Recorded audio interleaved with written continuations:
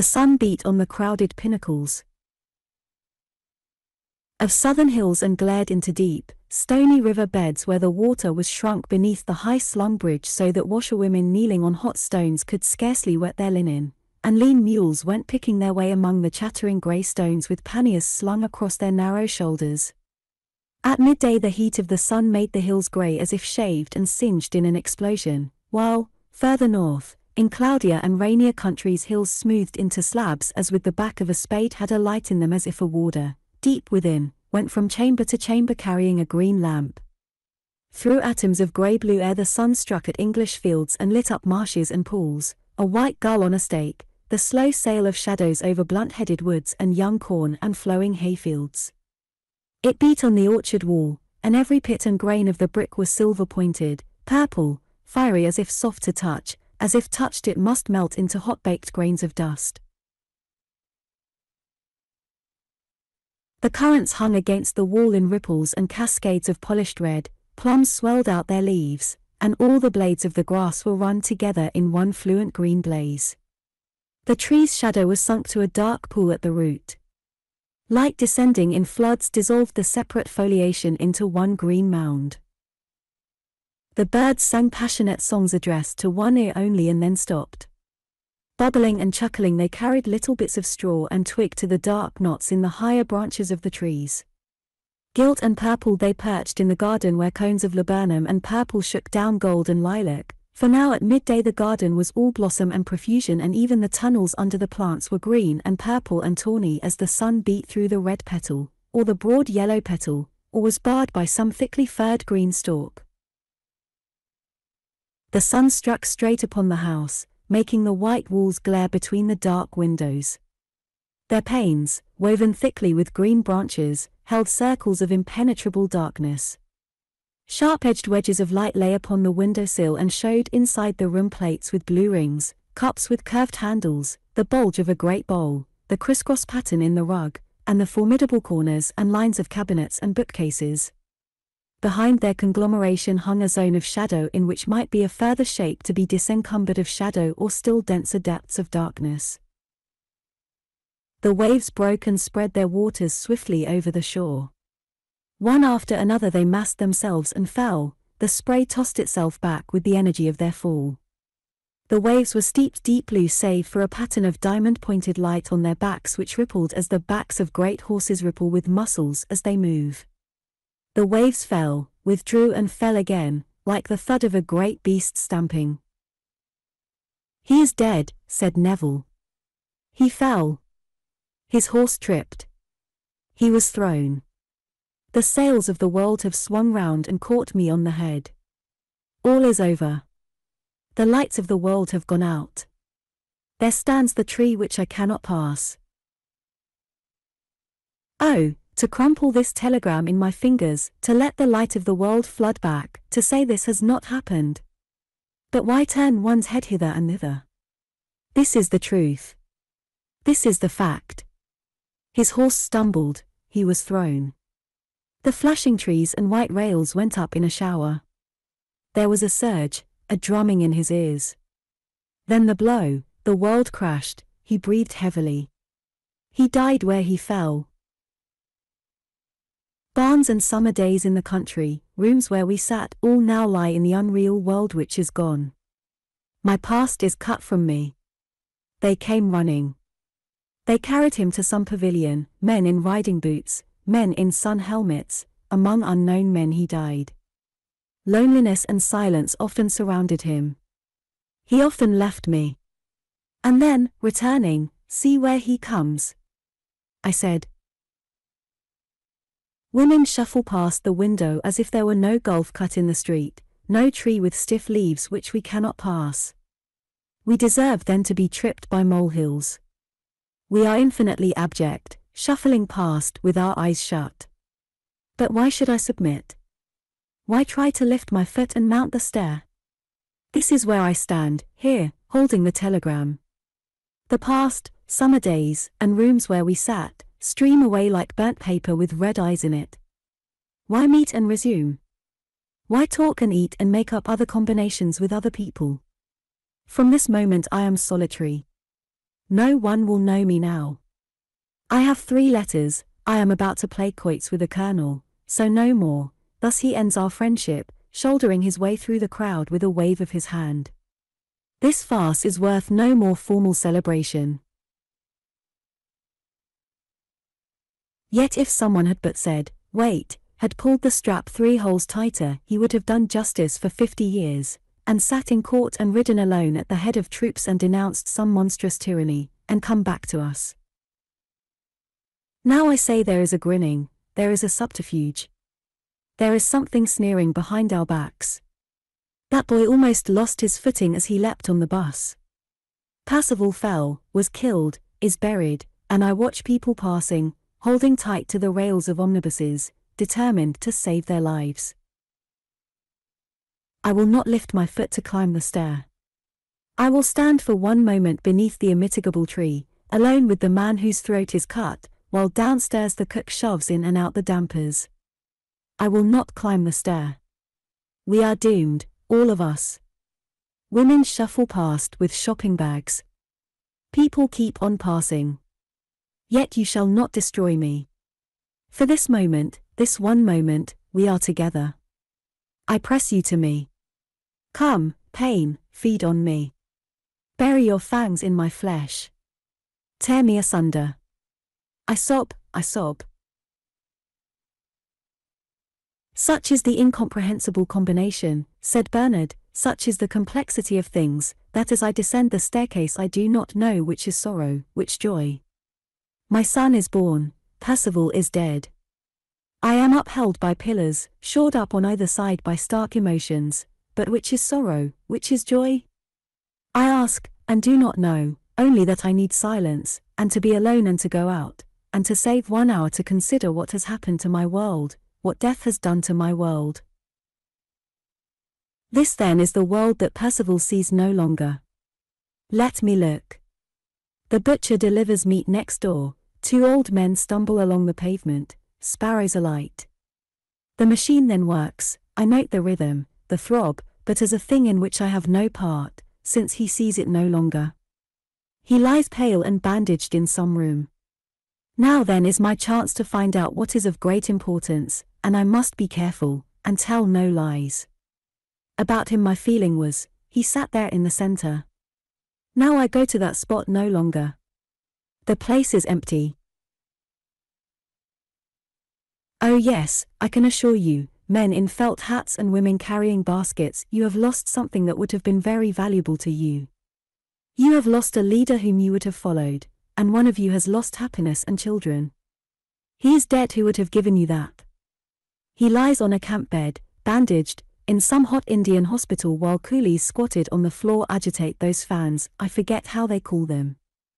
But this is important, you are well out of it, I said, while the doves descended over the roofs and my son was born, as if it were a fact. I remember, as a boy, his curious air of detachment. And I go on to say, my eyes fill with tears and then are dry, but this is better than one had dared to hope. I say, addressing what is abstract, facing me eyeless at the end of the avenue, in the sky, is this the utmost you can do? Then we have triumphed. You have done your utmost, I say, addressing that blank and brutal face, for he was twenty-five and should have lived to be eighty, without avail. I am not going to lie down and weep away a life of care. An entry to be made in my pocketbook, contempt for those who inflict meaningless death. Further, this is important, that I should be able to place him in trifling and ridiculous situations, so that he may not feel himself absurd, perched on a great horse. I must be able to say, Percival, a ridiculous name. At the same time, let me tell you, men and women, hurrying to the tube station, you would have had to respect him. You would have had to form up and follow behind him. How strange to all one's way through crowds seeing life through hollow eyes, burning eyes. Yet already signals begin, beckonings, attempts to lure me back. Curiosity is knocked out for only a short time. One cannot live outside the machine for more perhaps than half an hour.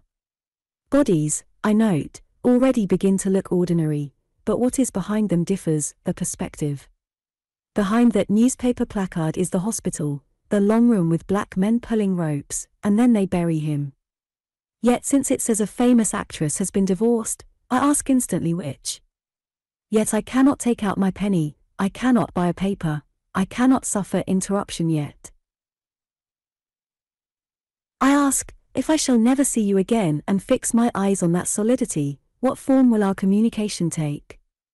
You have gone across the court, further and further, drawing finer and finer the thread between us. But you exist somewhere. Something of you remains. A judge. That is, if I discover a new vein in myself, I shall submit it to you privately. I shall ask, What is your verdict? You shall remain the arbiter. But for how long? Things will become too difficult to explain, there will be new things, already, my son. I am now at the zenith of an experience. It will decline. Already I no longer cry with conviction, what luck! Exaltation, the flight of doves descending, is over. Chaos, detail return. I am no longer amazed by names written over shop windows. I do not feel why hurry. Why catch trains? The sequence returns, one thing leads to another, the usual order. Yes, but I still resent the usual order. I will not let myself be made yet to accept the sequence of things. I will walk, I will not change the rhythm of my mind by stopping, by looking, I will walk. I will go up these steps into the gallery and submit myself to the influence of minds like mine outside the sequence. There is little time left to answer the question, my powers flag, I become torpid. Here are pictures, here are cold Madonnas among their pillars. Let them lay to rest the incessant activity of the mind's eye, the bandaged head, the men with ropes, so that I may find something unvisual beneath. Here are gardens, and Venus among her flowers, here are saints and blue Madonnas. Mercifully, these pictures make no reference, they do not nudge, they do not point. Thus, they expand my consciousness of him and bring him back to me differently. I remember his beauty. Look, where he comes, I said. Lines and colors almost persuade me that I too can be heroic. I, who make phrases so easily, am so soon seduced, love what comes next, and cannot clench my fist, but vacillate weakly making phrases according to my circumstances. Now, through my own infirmity, I recover what he was to me, my opposite. Being naturally truthful, he did not see the point of these exaggerations, and was borne on by a natural sense of the fitting, was indeed a great master of the art of living so that he seems to have lived long, and to have spread calm round him, indifference one might almost say, certainly to his own advancement, save that he had also great compassion. A child playing a summer evening, doors will open and shut, will keep opening and shutting, through which I see sights that make me weep. For they cannot be imparted. Hence our loneliness, hence our desolation. I turn to that spot in my mind and find it empty. My own infirmities oppress me. There is no longer him to oppose them. Behold, then, the blue Madonna streaked with tears. This is my funeral service. We have no ceremonies, only private dirges and no conclusions, only violent sensations, each separate. Nothing that has been said meets our case. We sit in the Italian room at the National Gallery picking up fragments. I doubt that Titian ever felt this rat nor. Painters live lives of methodical absorption, adding stroke to stroke. They are not like poets, scapegoats, they are not chained to the rock. Hence the silence, the sublimity. Yet that crimson must have burnt in Titian's gizzard. No doubt he rose with the great arms holding the cornucopia, and fell, in that descent. But the silence weighs on me the perpetual solicitation of the eye. The pressure is intermittent and muffled. I distinguish too little and too vaguely. The bell is pressed and I do not ring or give out irrelevant clamors all jangled. I am titillated inordinately by some splendor, the ruffled crimson against the green lining, the march of pillars, the orange light behind the black, pricked ears of the olive trees. Arrows of sensation strike from my spine, but without order. Yet something is added to my interpretation. Something lies deeply buried. For one moment I thought to grasp it. But bury it, bury it, let it breed, hidden in the depths of my mind someday to fructify. After a long lifetime, loosely, in a moment of revelation, I may lay hands on it, but now the idea breaks in my hand. Ideas break a thousand times for once that they globe themselves entire. They break, they fall over me. Line and colors they survive, therefore. I am yawning. I am glutted with sensations. I am exhausted with the strain and the long, long time, 25 minutes, half an hour, that I have held myself alone outside the machine. I grow numb, I grow stiff. How shall I break up this numbness which discredits my sympathetic heart? There are others suffering, multitudes of people suffering. Neville suffers. He loved Percival.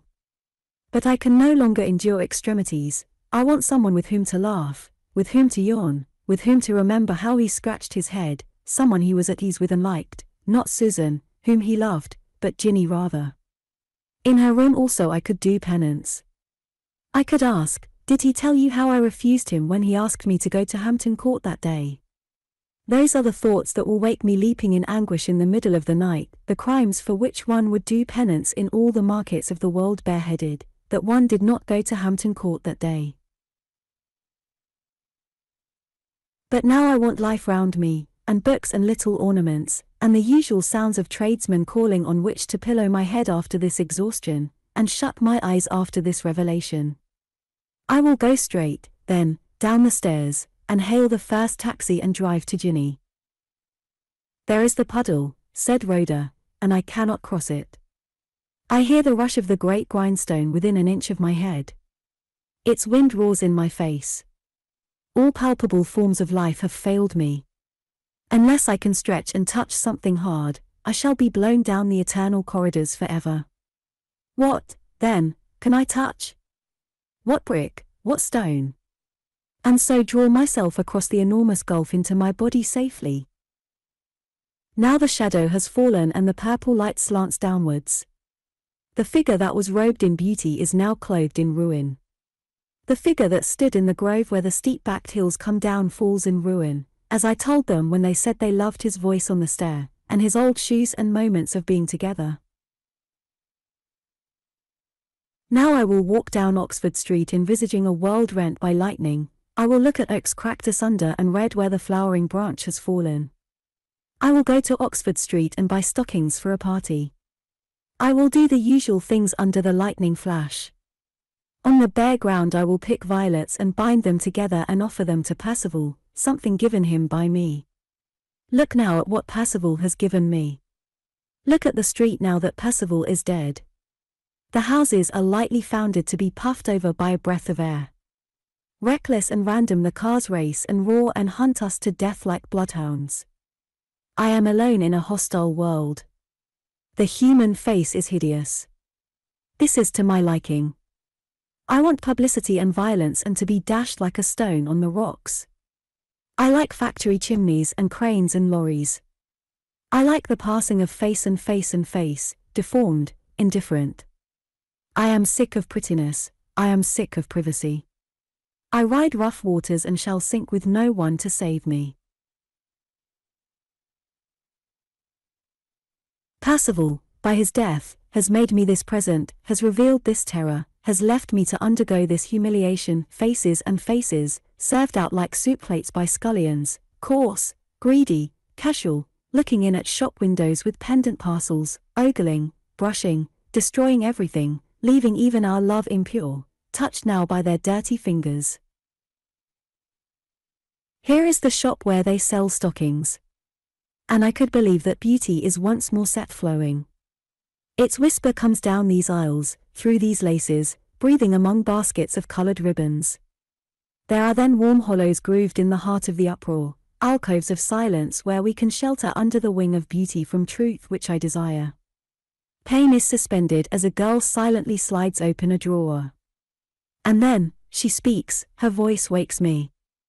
I shoot to the bottom among the weeds and see envy, jealousy, hatred, and spite scuttle like crabs over the sand as she speaks. These are our companions. I will pay my bill and take my parcel. This is Oxford Street. Here are hate, jealousy, hurry, and indifference frothed into the wild semblance of life. These are our companions. Consider the friends with whom we sit and eat. I think of Louis, reading the sporting column of an evening newspaper, afraid of ridicule, a snob. He says, looking at the people passing, he will shepherd us if we will follow. If we submit, he will reduce us to order. Thus he will smooth out the death of Percival to his satisfaction, looking fixedly over the cruet, past the houses at the sky. Bernard, meanwhile, flops red eyed into some armchair. He will have out his notebook, under D, he will enter phrases to be used on the deaths of friends.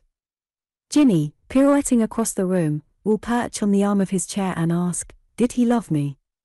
More than he loved Susan. Susan, engaged to her farmer in the country, will stand for a second with the telegram before her, holding a plate, and then, with a kick of her heel, slam to the oven door. Neville, after staring at the window through his tears, will see through his tears, and ask, Who passes the window? What lovely boy! This is my tribute to Percival, withered violets, blackened violets. Where shall I go then? To some museum, where they keep rings under glass cases, where there are cabinets, and the dresses that queens have worn. Or shall I go to Hampton Court and look at the red walls and courtyards and the seemliness of herded yew trees making black pyramids symmetrically on the grass among flowers? There shall I recover beauty, and impose order upon my raked, my dishevelled soul. But what can one make in loneliness? Alone I should stand on the empty grass and say, Rooks fly, somebody passes with a bag, there is a gardener with a wheelbarrow. I should stand in a queue and smell sweat, and scent as horrible as sweat, and be hung with other people like a joint of meat among other joints of meat.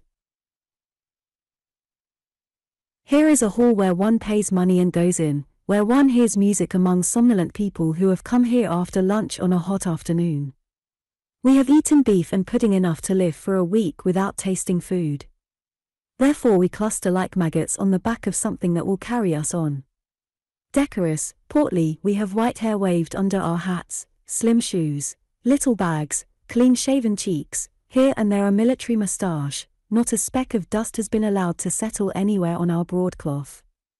Swaying and opening programs, with a few words of greeting to friends, we settle down, like walruses stranded on rocks, like heavy bodies incapable of waddling to the sea, hoping for a wave to lift us, but we are too heavy, and too much dry shingle lies between us and the sea. We lie gorged with food, torpid in the heat. Then, swollen but contained in slippery satin, the sea green woman comes to our rescue. She sucks in her lips, assumes an air of intensity, inflates herself and hurls herself precisely at the right moment as if she saw an apple and her voice was the arrow into the note, ah. An axe has split a tree to the core, the core is warm, sound quivers within the bark. Ah, cried a woman to her lover, leaning from her window in Venice. Ah, ah, she cried, and again she cries ah. She has provided us with a cry. But only a cry. And what is a cry? Then the beetle shaped men come with their violins, wait, count, nod, down come their bows. And there is ripple and laughter like the dance of olive trees and their myriad tongued grey leaves when a seafarer, biting a twig between his lips where the many backed steep hills come down, leaps on shore.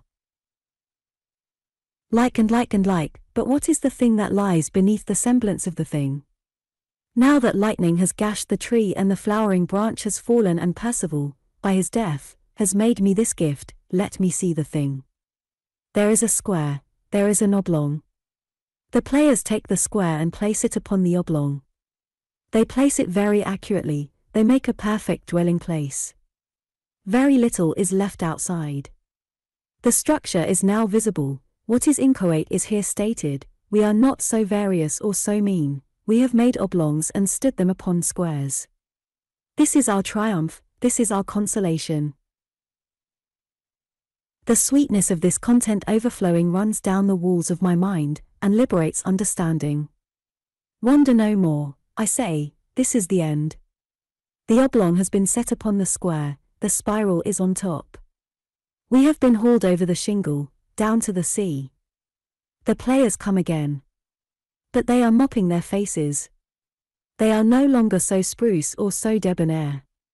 I will go. I will set aside this afternoon. I will make a pilgrimage. I will go to Greenwich. I will fling myself fearlessly into trams, into omnibuses. As we lurch down Regent Street, and I am flung upon this woman, upon this man, I am not injured, I am not outraged by the collision. A square stands upon an oblong.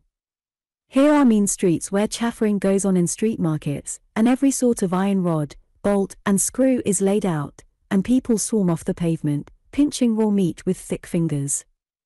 The structure is visible. We have made a dwelling place.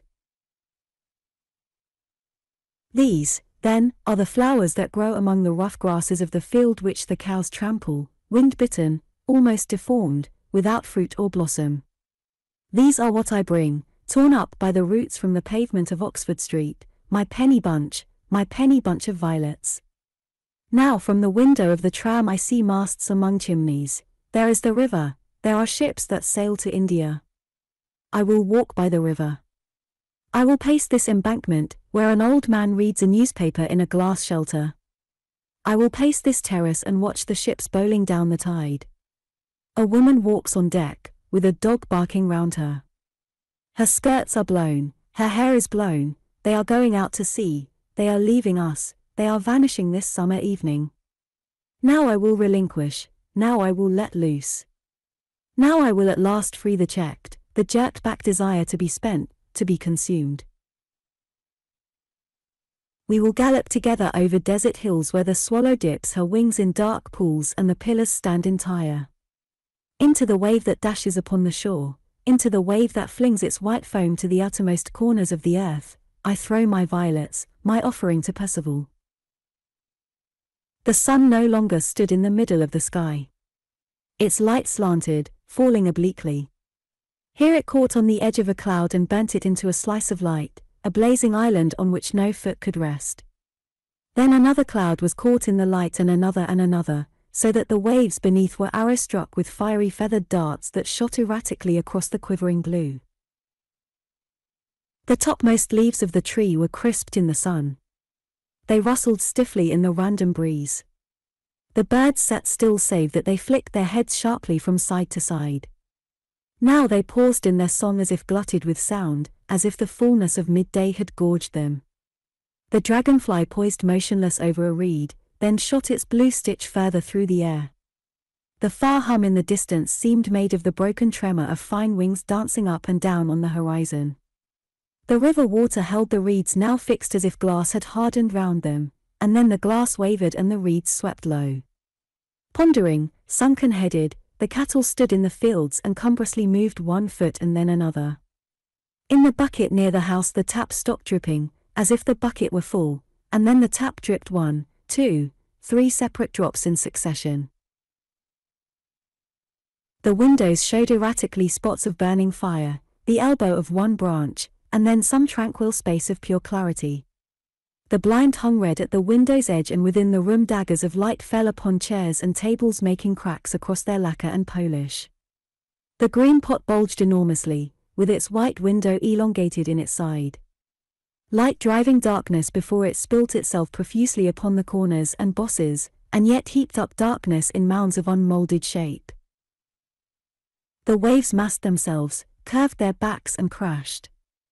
Up spurted stones and shingle. They swept round the rocks, and the spray, leaping high, spattered the walls of a cave that had been dry before, and left pools inland, where some fish stranded lashed its tail as the wave drew back. I have signed my name, said Louis, already twenty times. I, and again I, and again I, clear, firm, unequivocal, there it stands, my name. Clear cut and unequivocal am I too. Yet a vast inheritance of experience is packed in me. I have lived thousands of years. I am like a worm that has eaten its way through the wood of a very old oak beam. But now I am compact, now I am gathered together this fine morning. The sun shines from a clear sky. But twelve o'clock brings neither rain nor sunshine. It is the hour when Miss Johnson brings me my letters in a wire tray. Upon these white sheets I indent my name.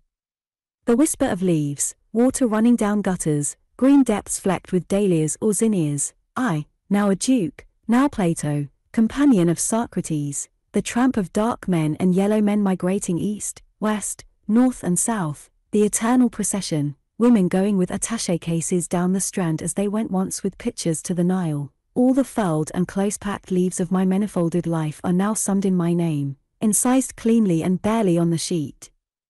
Now a full-grown man, now upright standing in sun or rain. I must drop heavy as a hatchet and cut the oak with my sheer weight, for if I deviate, glancing this way, or that way, I shall fall like snow and be wasted. I am half in love with the typewriter and the telephone. With letters and cables and brief but courteous commands on the telephone to Paris, Berlin, New York, I have fused my many lives into one. I have helped by my assiduity and decision to score those lines on the map there by which the different parts of the world are laced together. I love punctually at 10 to come into my room, I love the purple glow of the dark mahogany, I love the table and its sharp edge, and the smooth running drawers. I love the telephone with its lip stretched to my whisper, and the date on the wall, and the engagement book. Mr. Prentice at 4, Mr. Ayres sharp at 4.30. I like to be asked to come to Mr. Burchard's private room and report on our commitments to China. I hope to inherit an armchair and a Turkey carpet. My shoulder is to the wheel, I roll the dark before me, spreading commerce where there was chaos in the far parts of the world. If I press on from chaos making order, I shall find myself where Chatham stood, and Pitt, Burke and Sir Robert Peel.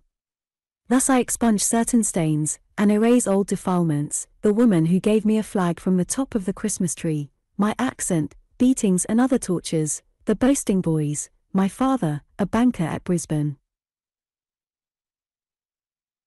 I have read my poet in an eating house, and, stirring my coffee, listened to the clerks making bets at the little tables, watched the women hesitating at the counter. I said that nothing should be irrelevant, like a piece of brown paper dropped casually on the floor.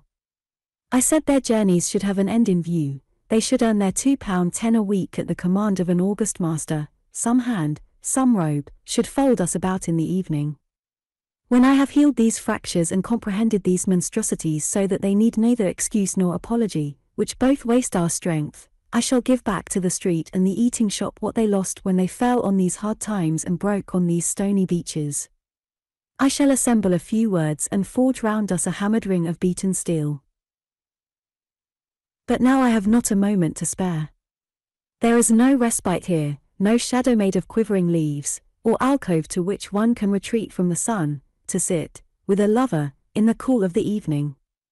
The weight of the world is on our shoulders, its vision is through our eyes. If we blink or look aside, or turn back to finger what Plato said or remember Napoleon and his conquests, we inflict on the world the injury of some obliquity. This is life, Mr. Prentice at 4, Mr. Ayres at 4.30.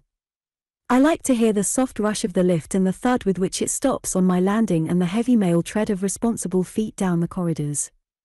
So by dint of our united exertions we send ships to the remotest parts of the globe, replete with lavatories and gymnasiums. The weight of the world is on our shoulders. This is life. If I press on, I shall inherit a chair and a rug, a place in Surrey with glass houses, and some rare conifer, melon, or flowering tree which other merchants will envy. Yet I still keep my attic room.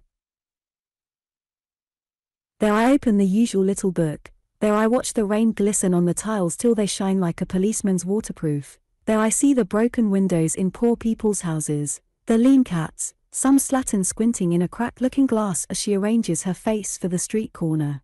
There Rhoda sometimes comes. For we are lovers. Percival has died, he died in Egypt, he died in Greece, all deaths are one death.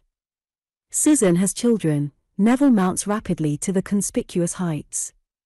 Life passes. The clouds change perpetually over our houses. I do this, do that, and again do this and then that. Meeting and parting, we assemble different forms, make different patterns.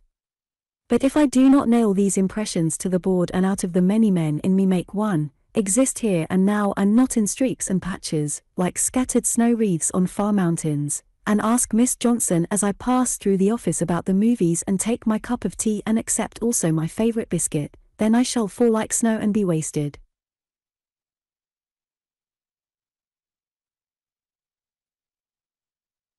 Yet when six o'clock comes and I touch my hat to the commissionaire, being always too effusive in ceremony since I desire so much to be accepted, and struggle, leaning against the wind, buttoned up, with my jaws blue and my eyes running water, I wish that a little typist would cuddle on my knees. I think that my favorite dish is liver and bacon, and so am apt to wander to the river, to the narrow streets where there are frequent public houses, and the shadows of ships passing at the end of the street, and women fighting.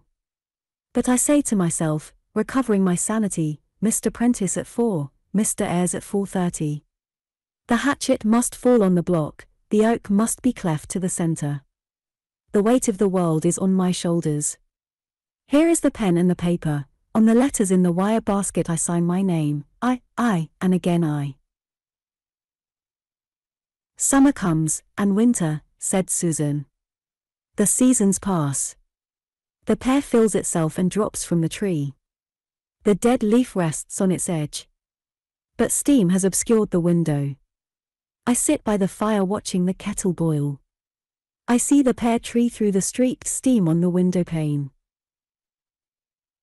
Sleep, sleep, I croon, whether it is summer or winter, May or November. Sleep I sing, I, who am unmelodious and hear no music save rustic music when a dog barks, a bell tinkles, or wheels crunch upon the gravel. I sing my song by the fire like an old shell murmuring on the beach. Sleep, sleep, I say, warning off with my voice all who rattle milk cans, fire at rooks, shoot rabbits, or in any way bring the shock of destruction near this wicker cradle, laden with soft limbs, curled under a pink coverlet. I have lost my indifference, my blank eyes, my pear-shaped eyes that soar to the root. I am no longer January, May, or any other season, but am all spun to a fine thread round the cradle, wrapping in a cocoon made of my own blood the delicate limbs of my baby. Sleep, I say, and feel within me uprush some wilder, darker violence, so that I would fell down with one blow any intruder, any snatcher, who should break into this room and wake the sleeper. I pad about the house all day long in apron and slippers, like my mother who died of cancer. Whether it is summer, whether it is winter, I no longer know by the moor grass, and the heath flower, only by the steam on the window pane, or the frost on the window pane. When the lark peals high his ring of sound and it falls through the air like an apple paring, I stoop, I feed my baby. I, who used to walk through beech woods noting the jay's feather turning blue as it falls, past the shepherd and the tramp, who stared at the woman squatted beside a tilted cart in a ditch, go from room to room with a duster. Sleep, I say, desiring sleep to fall like a blanket of down and cover these weak limbs, demanding that life shall sheathe its claws and gird its lightning and pass by, making of my own body a hollow, a warm shelter for my child to sleep in. Sleep, I say, sleep. Or I go to the window, I look at the rook's high nest, and the pear tree. His eyes will see when mine are shut, I think.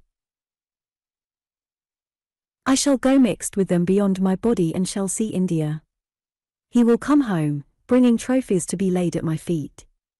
He will increase my possessions. But I never rise at dawn and see the purple drops in the cabbage leaves, the red drops in the roses. I do not watch the setter nose in a circle, or lie at night watching the leaves hide the stars and the stars move and the leaves hang still.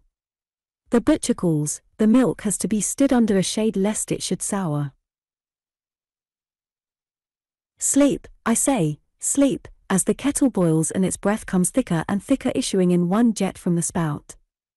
So life fills my veins. So life pours through my limbs. So I am driven forward, till I could cry, as I move from dawn to dusk opening and shutting, no more. I am glutted with natural happiness. Yet more will come, more children, more cradles, more baskets in the kitchen and hams ripening, and onions glistening, and more beds of lettuce and potatoes. I am blown like a leaf by the gale, now brushing the wet grass, now whirled up. I am glutted with natural happiness, and wish sometimes that the fullness would pass from me and the weight of the sleeping house rise, when we sit reading, and I stay the thread at the eye of my needle. The lamp kindles a fire in the dark pane. A fire burns in the heart of the ivy. I see a lit up street in the evergreens. I hear traffic in the brush of the wind down the lane, and broken voices, and laughter, and Jinny who cries as the door opens, Come! Come! But no sound breaks the silence of our house, where the fields sigh close to the door. The wind washes through the elm trees, a moth hits the lamp, a cow lows, a crack of sound starts in the rafter, and I push my head through the needle and murmur, Sleep. Dot. Now is the moment, said Jinny. Now we have met, and have come together. Now let us talk, let us tell stories. Who is he? Who is she? I am infinitely curious and do not know what is to come. If you, whom I meet for the first time, were to say to me, the coach starts at four from Piccadilly, I would not stay to fling a few necessaries in a bandbox, but would come at once. Let us sit here under the cut flowers, on the sofa by the picture. Let us decorate our Christmas tree with facts and again with facts. People are so soon gone, let us catch them. That man there, by the cabinet, he lives, you say, surrounded by china pots. Break one and you shatter a thousand pounds. And he loved a girl in Rome and she left him. Hence the pots, old junk found in lodging houses or dug from the desert sands. And since beauty must be broken daily to remain beautiful, and he is static, his life stagnates in a China sea. It is strange though, for once as a young man, he sat on damp ground and drank rum with soldiers. One must be quick and add facts deftly, like toys to a tree, fixing them with a twist of the fingers. He stoops, how he stoops, even over an azalea. He stoops over the old woman even, because she wears diamonds in her ears, and, bundling about her estate in a pony carriage, directs who is to be helped, what tree felled, and who turned out tomorrow. I have lived my life, I must tell you, all these years, and I am now past thirty, perilously, like a mountain goat, leaping from crag to crag, I do not settle long anywhere, I do not attach myself to one person in particular, but you will find that if I raise my arm, some figure at once breaks off and will come. And that man is a judge, and that man is a millionaire, and that man, with the eyeglass, shot his governess through the heart with an arrow when he was ten years old. Afterwards he rode through deserts with despatches, took part in revolutions and now collects materials for a history of his mother's family, long settled in Norfolk. That little man with a blue chin has a right hand that is withered. But why? We do not know. That woman, you whisper discreetly, with the pearl pagodas hanging from her ears, was the pure flame who lit the life of one of our statesmen. Now, since his death, she sees ghosts, tells fortunes, and has adopted a coffee-colored youth whom she calls the Messiah. That man with the drooping moustache, like a cavalry officer, lived a life of the utmost debauchery, it is all in some memoir, until one day he met a stranger in a train who converted him between Edinburgh and Carlisle by reading the Bible. Thus, in a few seconds, deftly, adroitly, we decipher the hieroglyphs written on other people's faces. Here, in this room, are the abraded and battered shells cast on the shore. The door goes on opening. The room fills and fills with knowledge, anguish, many kinds of ambition, much indifference, some despair. Between us, you say, we could build cathedrals, dictate policies, condemn men to death, and administer the affairs of several public offices. The common fund of experience is very deep. We have between us scores of children of both sexes, whom we are educating, going to see at school with the measles, and bringing up to inherit our houses. In one way or another, we make this day, this Friday, some by going to the law courts, others to the city, others to the nursery, others by marching and forming fours. A million hands stitch, raise hods with bricks. The activity is endless. And tomorrow it begins again, tomorrow we make Saturday. Some take train for France, others ship for India. Some will never come into this room again. One may die tonight. Another will beget a child. From us every sort of building, policy, venture, picture, poem, child, factory, will spring. Life comes, life goes, we make life. So you say. But we who live in the body see with the body's imagination things in outline. I see rocks in bright sunshine. I cannot take these facts into some cave and, shading my eyes, grade their yellows, blues, umbers into one substance. I cannot remain seated for long. I must jump up and go. The coach may start from Piccadilly. I drop all these facts, diamonds, withered hands, china pots and the rest of it as a monkey drops nuts from its naked paws. I cannot tell you if life is this or that. I am going to push out into the heterogeneous crowd. I am going to be buffeted, to be flung up, and flung down, among men, like a ship on the sea. For now my body, my companion, which is always sending its signals, the rough black no, the golden come, in rapid running arrows of sensation, beckons. Someone moves. Did I raise my arm? Did I look? Did my yellow scarf with the strawberry spots float and signal? He is broken from the wall. He follows. I am pursued through the forest. All is wrapped, all is nocturnal, and the parrots go screaming through the branches. All my senses stand erect. Now I feel the roughness of the fiber of the curtain through which I push, now I feel the cold iron railing and its blistered paint beneath my palm. Now the cool tide of darkness breaks its waters over me. We are out of doors. Night opens, night traversed by wandering moths, night hiding lovers roaming to adventure. I smell roses, I smell violets, I see red and blue just hidden. Now gravel is under my shoes, now grass. Up reel the tall backs of houses guilty with lights. All London is uneasy with flashing lights. Now let us sing our love song, come, come, come. Now my gold signal is like a dragonfly flying taut. Jug, jug, jug, I sing like the nightingale whose melody is crowded in the too narrow passage of her throat. Now I hear crash and rending of boughs and the crack of antlers as if the beasts of the forest were all hunting, all rearing high and plunging down among the thorns. One has pierced me. One is driven deep within me. and velvet flowers and leaves whose coolness has been stood in water wash me round, and sheathe me, embalming me.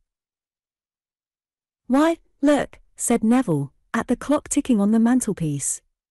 Time passes, yes. And we grow old. But to sit with you, alone with you, here in London, in this firelit room, you there, I hear, is all. The world ransacked to its uttermost ends, and all its heights stripped and gathered of their flowers, holds no more. Look at the firelight running up and down the gold thread in the curtain. The fruit it circles droops heavy. It falls on the toe of your boot, it gives your face a red rim. I think it is the firelight and not your face. I think those are books against the wall, and that a curtain, and that perhaps an armchair. But when you come, everything changes. The cups and saucers changed when you came in this morning. There can be no doubt, I thought, pushing aside the newspaper, that our mean lives, unsightly as they are, put on splendor and have meaning only under the eyes of love. I rose. I had done my breakfast. There was the whole day before us, and as it was fine, tender, non-committal, we walked through the park to the embankment, along the Strand to St. Paul's, then to the shop where I bought an umbrella, always talking, and now and then stopping to look. But can this last? I said to myself, by a lion in Trafalgar Square, by the lion seen once and forever, so I revisit my past life, scene by scene, there is an elm tree, and there lies Percival. Forever and ever, I swore. Then darted in the usual doubt. I clutched your hand. You left me. The descent into the tube was like death. We were cut up, we were dissevered by all those faces and the hollow wind that seemed to roar down there over desert boulders. I sat staring in my own room. By five I knew that you were faithless. I snatched the telephone and the buzz, buzz, buzz of its stupid voice in your empty room battered my heart down, when the door opened and there you stood. That was the most perfect of our meetings. But these meetings, these partings, finally destroy us. Now this room seems to me central, something scooped out of the eternal night. Outside lines twist and intersect, but round us, wrapping us about. Here we are centered. Here we can be silent, or speak without raising our voices. Did you notice that and then that? We say. He said that, meaning. She hesitated, and I believe suspected. Anyhow, I heard voices, a sob on the stair late at night. It is the end of their relationship. Thus we spin round us infinitely fine filaments and construct a system. Plato and Shakespeare are included, also quite obscure people, people of no importance whatsoever. I hate men who wear crucifixes on the left side of their waistcoats. I hate ceremonies and lamentations and the sad figure of Christ trembling beside another trembling and sad figure. Also the pomp and the indifference and the emphasis, always on the wrong place, of people holding forth under chandeliers in full evening dress, wearing stars and decorations. Some spray in a hedge, though, or a sunset over a flat winter field, or again the way some old woman sits, arms akimbo, in an omnibus with a basket those we point at for the other to look at. It is so vast an alleviation to be able to point for another to look at. And then not to talk. To follow the dark paths of the mind and enter the past, to visit books, to brush aside their branches and break off some fruit. And you take it and marvel, as I take the careless movements of your body and marvel at its ease, its power, how you fling open windows and are dexterous with your hands. For alas! My mind is a little impeded, it soon tires, I fall damp, perhaps disgusting, at the goal. Alas! I could not ride about India in a sun helmet and return to a bungalow. I cannot tumble, as you do, like half naked boys on the deck of a ship, squirting each other with hose pipes. I want this fire, I want this chair. I want someone to sit beside me after the day's pursuit and all its anguish, after its listenings, and its waitings, and its suspicions. After quarrelling and reconciliation, I need privacy, to be alone with you, to set this hubbub in order for I am as neat as a cat in my habits. We must oppose the waste and deformity of the world, its crowds eddying round and round disgorged and trampling. One must slip paper knives, even, exactly through the pages of novels, and tie up packets of letters neatly with green silk, and brush up the cinders with a hearth broom. Everything must be done to rebuke the horror of deformity. Let us read writers of Roman severity and virtue, let us seek perfection through the sand.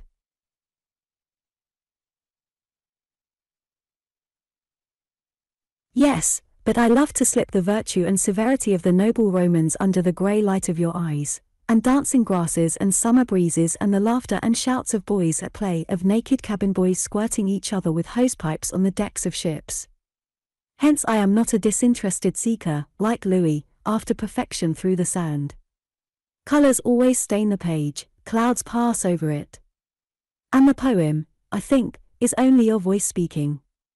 Alcibiades, Ajax, Hector, and Percival are also you. They loved riding, they risked their lives wantonly, they were not great readers either. But you are not Ajax or Percival. They did not wrinkle their noses and scratch their foreheads with your precise gesture.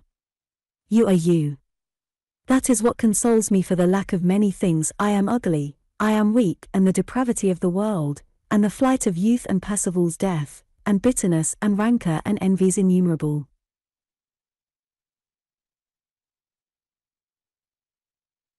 But if one day you do not come after breakfast, if one day I see you in some looking glass perhaps looking after another, if the telephone buzzes and buzzes in your empty room, I shall then, after unspeakable anguish, I shall then, for there is no end to the folly of the human heart, seek another, find another, you.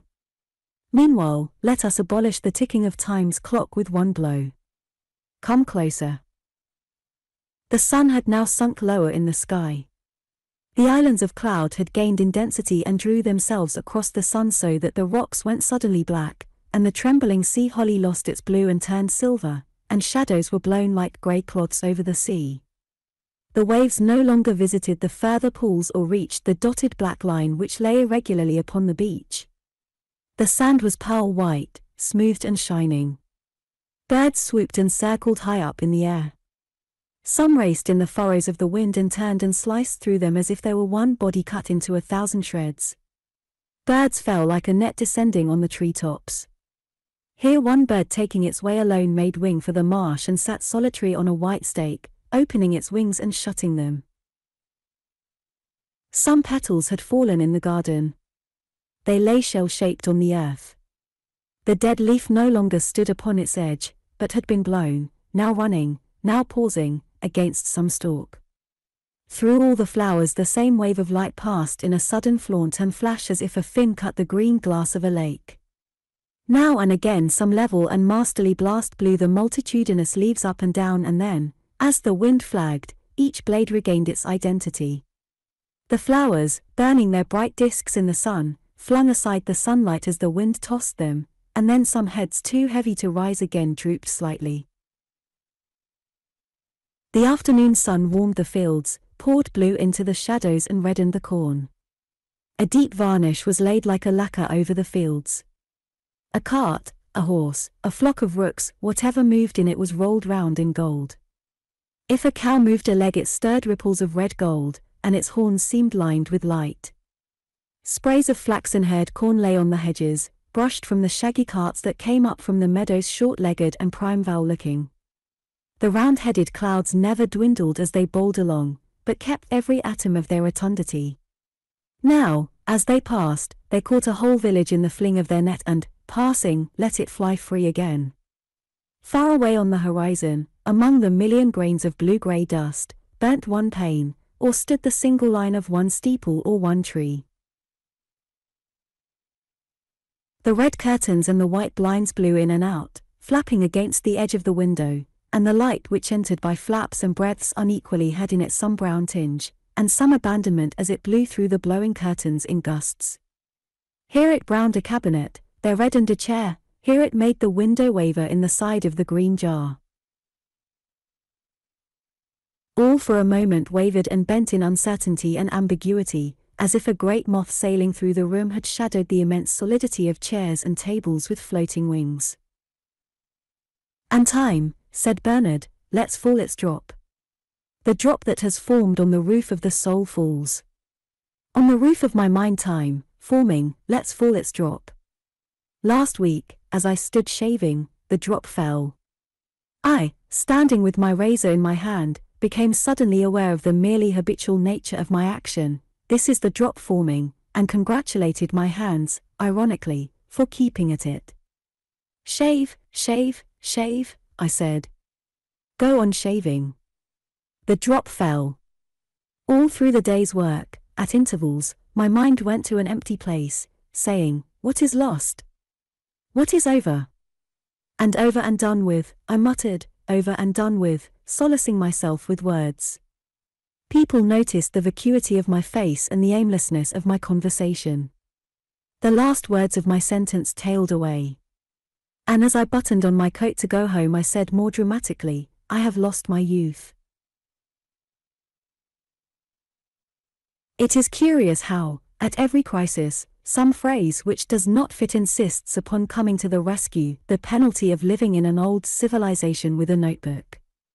This drop falling has nothing to do with losing my youth. This drop falling is time tapering to a point. Time, which is a sunny pasture covered with a dancing light, time, which is widespread as a field at midday, becomes pendant. Time tapers to a point. As a drop falls from a glass heavy with some sediment, time falls. These are the true cycles, these are the true events. Then, as if all the luminosity of the atmosphere were withdrawn, I see to the bare bottom. I see what habit covers. I lie sluggish in bed for days. I dine out and gape like a codfish. I do not trouble to finish my sentences, and my actions, usually so uncertain, acquire a mechanical precision. On this occasion, passing an office, I went in and bought, with all the composure of a mechanical figure, a ticket for Rome. Now I sit on a stone seat in these gardens surveying the eternal city, and the little man who was shaving in London five days ago looks already like a heap of old clothes. London has also crumbled. London consists of fallen factories and a few gasometers. At the same time I am not involved in this pageantry. I see the violet-sashed priests and the picturesque nursemaids, I notice externals only. I sit here like a convalescent, like a very simple man who knows only words of one syllable. The sun is hot, I say. The wind is cold. I feel myself carried round like an insect on top of the earth and could swear that, sitting here, I feel its hardness, its turning movement. I have no desire to go the opposite way from the earth. Could I prolong this sense another six inches I have a foreboding that I should touch some queer territory. But I have a very limited proboscis. I never wish to prolong these states of detachment, I dislike them, I also despise them. I do not wish to be a man who sits for fifty years on the same spot thinking of his navel. I wish to be harnessed to a cart, a vegetable cart that rattles over the cobbles. The truth is that I am not one of those who find their satisfaction in one person, or in infinity. The private room bores me, also the sky. My being only glitters when all its facets are exposed to many people. Let them fail and I am full of holes, dwindling like burnt paper. Oh, Mrs. Moffat, Mrs. Moffat, I say, come and sweep it all up. Things have dropped from me. I have outlived certain desires, I have lost friends, some by death, Percival, others through sheer inability to cross the street. I am not so gifted as at one time seemed likely. Certain things lie beyond my scope. I shall never understand the harder problems of philosophy. Rome is the limit of my traveling. As I drop asleep at night, it strikes me sometimes with a pang that I shall never see savages in Tahiti spearing fish by the light of a blazing cresset, or a lion spring in the jungle, or a naked man eating raw flesh. Nor shall I learn Russian or read the Vedas. I shall never again walk bang into the pillar box. But still a few stars fall through my night, beautifully, from the violence of that concussion. But as I think, truth has come nearer. For many years I crooned complacently, my children, my wife, my house, my dog. As I let myself in with the latchkey, I would go through that familiar ritual and wrap myself in those warm coverings. Now that lovely veil has fallen, I do not want possessions now. Note, an Italian washerwoman stands on the same rung of physical refinement as the daughter of an English duke. But let me consider. The drop falls, another stage has been reached. Stage upon stage. And why should there be an end of stages? And where do they lead? To what conclusion? For they come wearing robes of solemnity. In these dilemmas the devout consult those violet-sashed and sensual-looking gentry who are trooping past me. But for ourselves, we resent teachers. Let a man get up and say, Behold, this is the truth, and instantly I perceive a sandy cat filching a piece of fish in the background. Look, you have forgotten the cat, I say. So Neville, at school, in the dim chapel, raged at the sight of the doctor's crucifix. I, who am always distracted, whether by a cat or by a bee buzzing round the bouquet that Lady Hampden keeps so diligently pressed to her nose, at once make up a story and so obliterate the angles of the crucifix. I have made up thousands of stories, I have filled innumerable notebooks with phrases to be used when I have found the true story, the one story to which all these phrases refer. But I have never yet found that story. And I begin to ask, are there stories? Look now from this terrace at the swarming population beneath. Look at the general activity and clamour. That man is in difficulties with his mule. Half a dozen good natured loafers offer their services. Others pass by without looking. They have as many interests as there are threads in a skein. Look at the sweep of the sky, bowled over by round white clouds.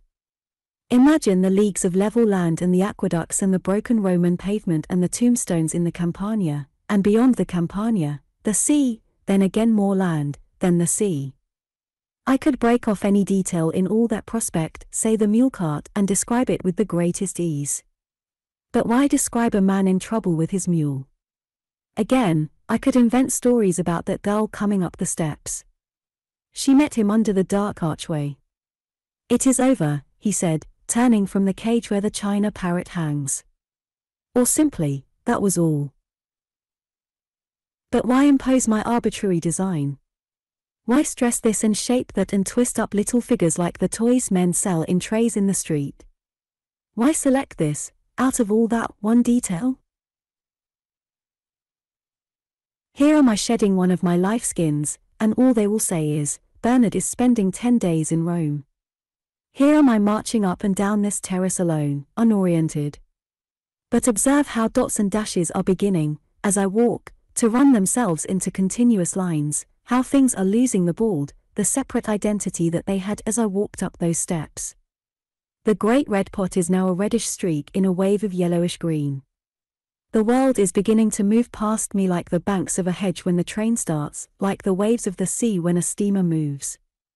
I am moving to, and becoming involved in the general sequence when one thing follows another and it seems inevitable that the tree should come, then the telegraph pole, then the break in the hedge. And as I move, surrounded, included, and taking part, the usual phrases begin to bubble up, and I wish to free these bubbles from the trap door in my head, and direct my steps therefore towards that man, the back of whose head is half familiar to me. We were together at school. We shall undoubtedly meet.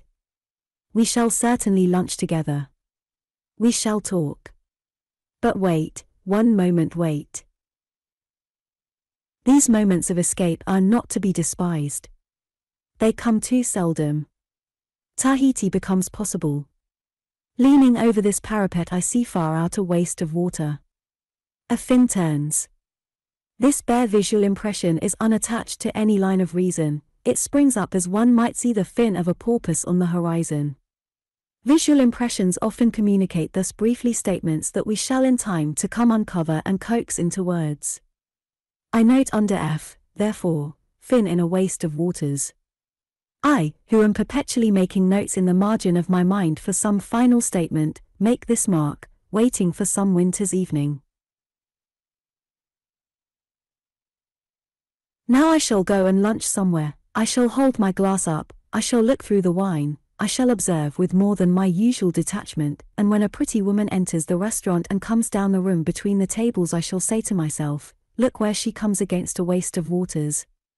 A meaningless observation, but to me, solemn, slate colored, with a fatal sound of ruining worlds and waters falling to destruction. So, Bernard, I recall you, you the usual partner in my enterprises, let us begin this new chapter, and observe the formation of this new, this unknown, strange, altogether unidentified and terrifying experience, the new drop, which is about to shape itself. Larpent is that man's name. In this hot afternoon, said Susan, here in this garden, here in this field where I walk with my son, I have reached the summit of my desires. The hinge of the gate is rusty, he heaves it open. The violent passions of childhood, my tears in the garden when Jinny kissed Louis, my rage in the schoolroom, which smelt of pine, my loneliness in foreign places, when the mules came clattering in on their pointed hoofs and the Italian women chattered at the fountain, shawled, with carnations twisted in their hair, are rewarded by security, possession, familiarity. I have had peaceful, productive years. I possess all I see. I have grown trees from the seed. I have made ponds in which goldfish hide under the broad-leaved lilies. I have netted over strawberry beds and lettuce beds, and stitched the pears and the plums into white bags to keep them safe from the wasps. I have seen my sons and daughters, once netted over like fruit in their cots, break the meshes and walk with me, taller than I am, casting shadows on the grass. I am fenced in, planted here like one of my own trees. I say, my son, I say, my daughter, and even the ironmonger looking up from his counter strewn with nails, paint, and wire fencing respects the shabby car at the door with its butterfly nets, pads, and beehives. We hang mistletoe over the clock at Christmas, weigh our blackberries and mushrooms, count out jam pots, and stand year by year to be measured against the shutter in the drawing room window. I also make wreaths of white flowers, twisting silver leaved plants among them for the dead, attaching my card with sorrow for the dead shepherd, with sympathy for the wife of the dead carter, and sit by the beds of dying women, who murmur their last terrors, who clutch my hand, frequenting rooms intolerable except to one born as I was an early acquainted with the farmyard and the dung heap and the hens straying in and out, and the mother with two rooms and growing children. I have seen the windows run with heat, I have smelt the sink. I ask now, standing with my scissors among my flowers, where can the shadow enter? What shock can loosen my laboriously gathered, relentlessly pressed down life? Yet sometimes I am sick of natural happiness, and fruit growing, and children scattering the house with oars, guns, skulls, books won for prizes and other trophies. I am sick of the body, I am sick of my own craft, industry, and cunning, of the unscrupulous ways of the mother who protects, who collects under her jealous eyes at one long table her own children, always her own.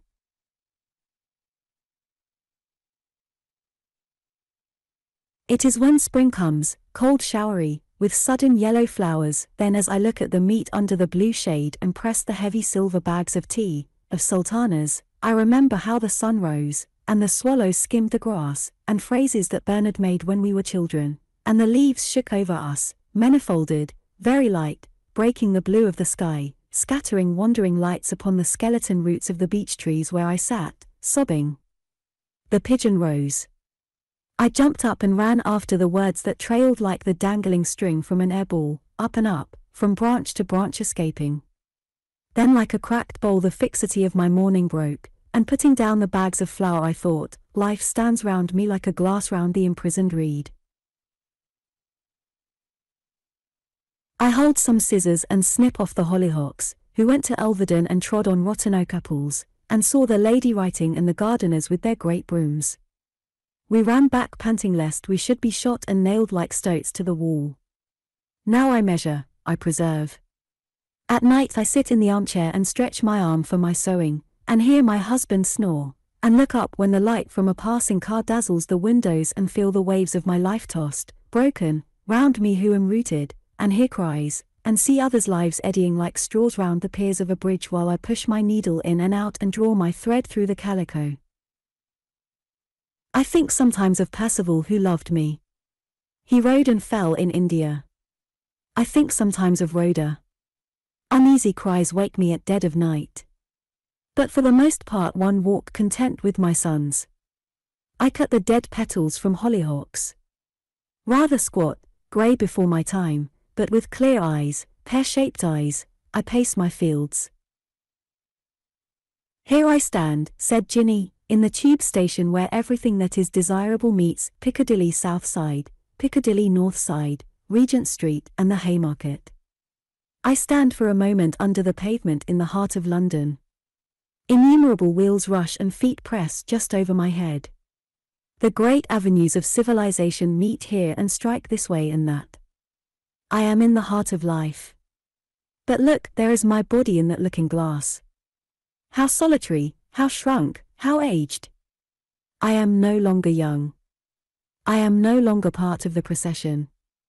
Millions descend those stairs in a terrible descent.